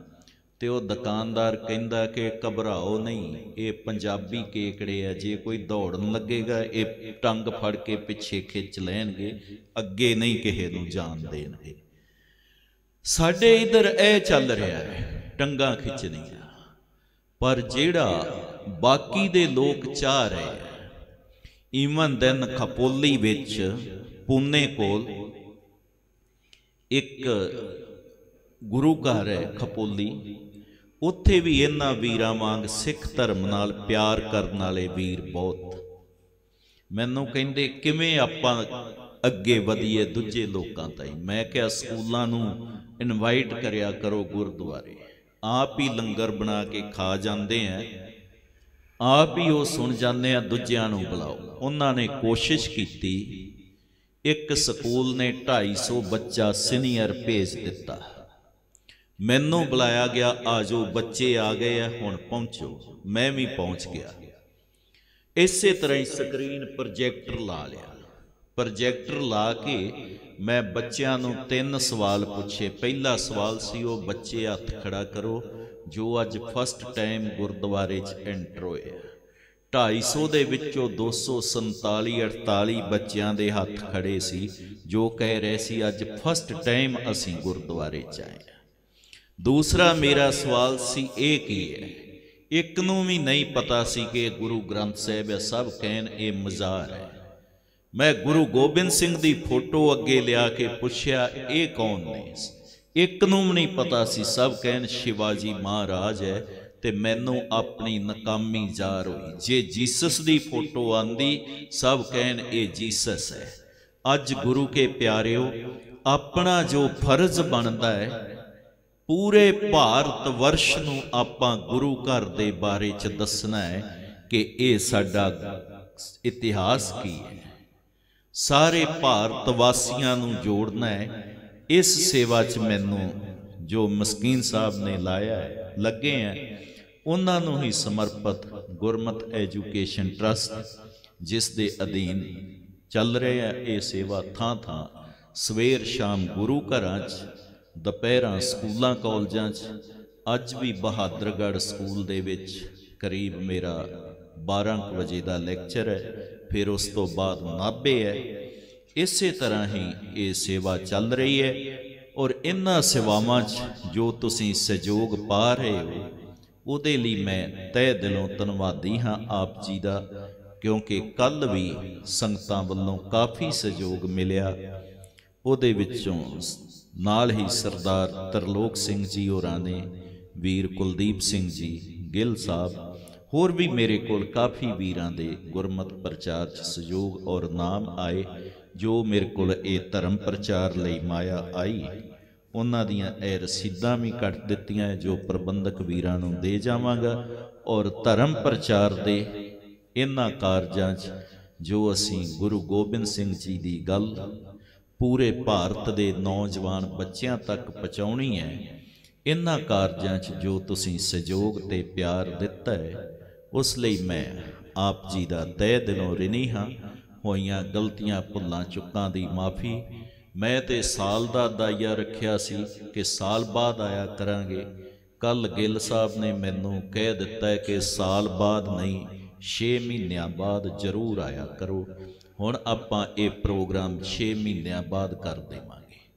ਇਸੇ ਤਰ੍ਹਾਂ ਹੀ ਇੰਨੇ ਬਚਨਾਂ ਨਾਲ ਖਿਮਾ, ਗੁਰੂ ਫਤਿਹ ਪ੍ਰਵਾਨ ਕਰਿਓ ਜੀ। ਵਾਹਿਗੁਰੂ ਜੀ ਕਾ ਖਾਲਸਾ, ਵਾਹਿਗੁਰੂ ਜੀ ਕੀ ਫਤਿਹ।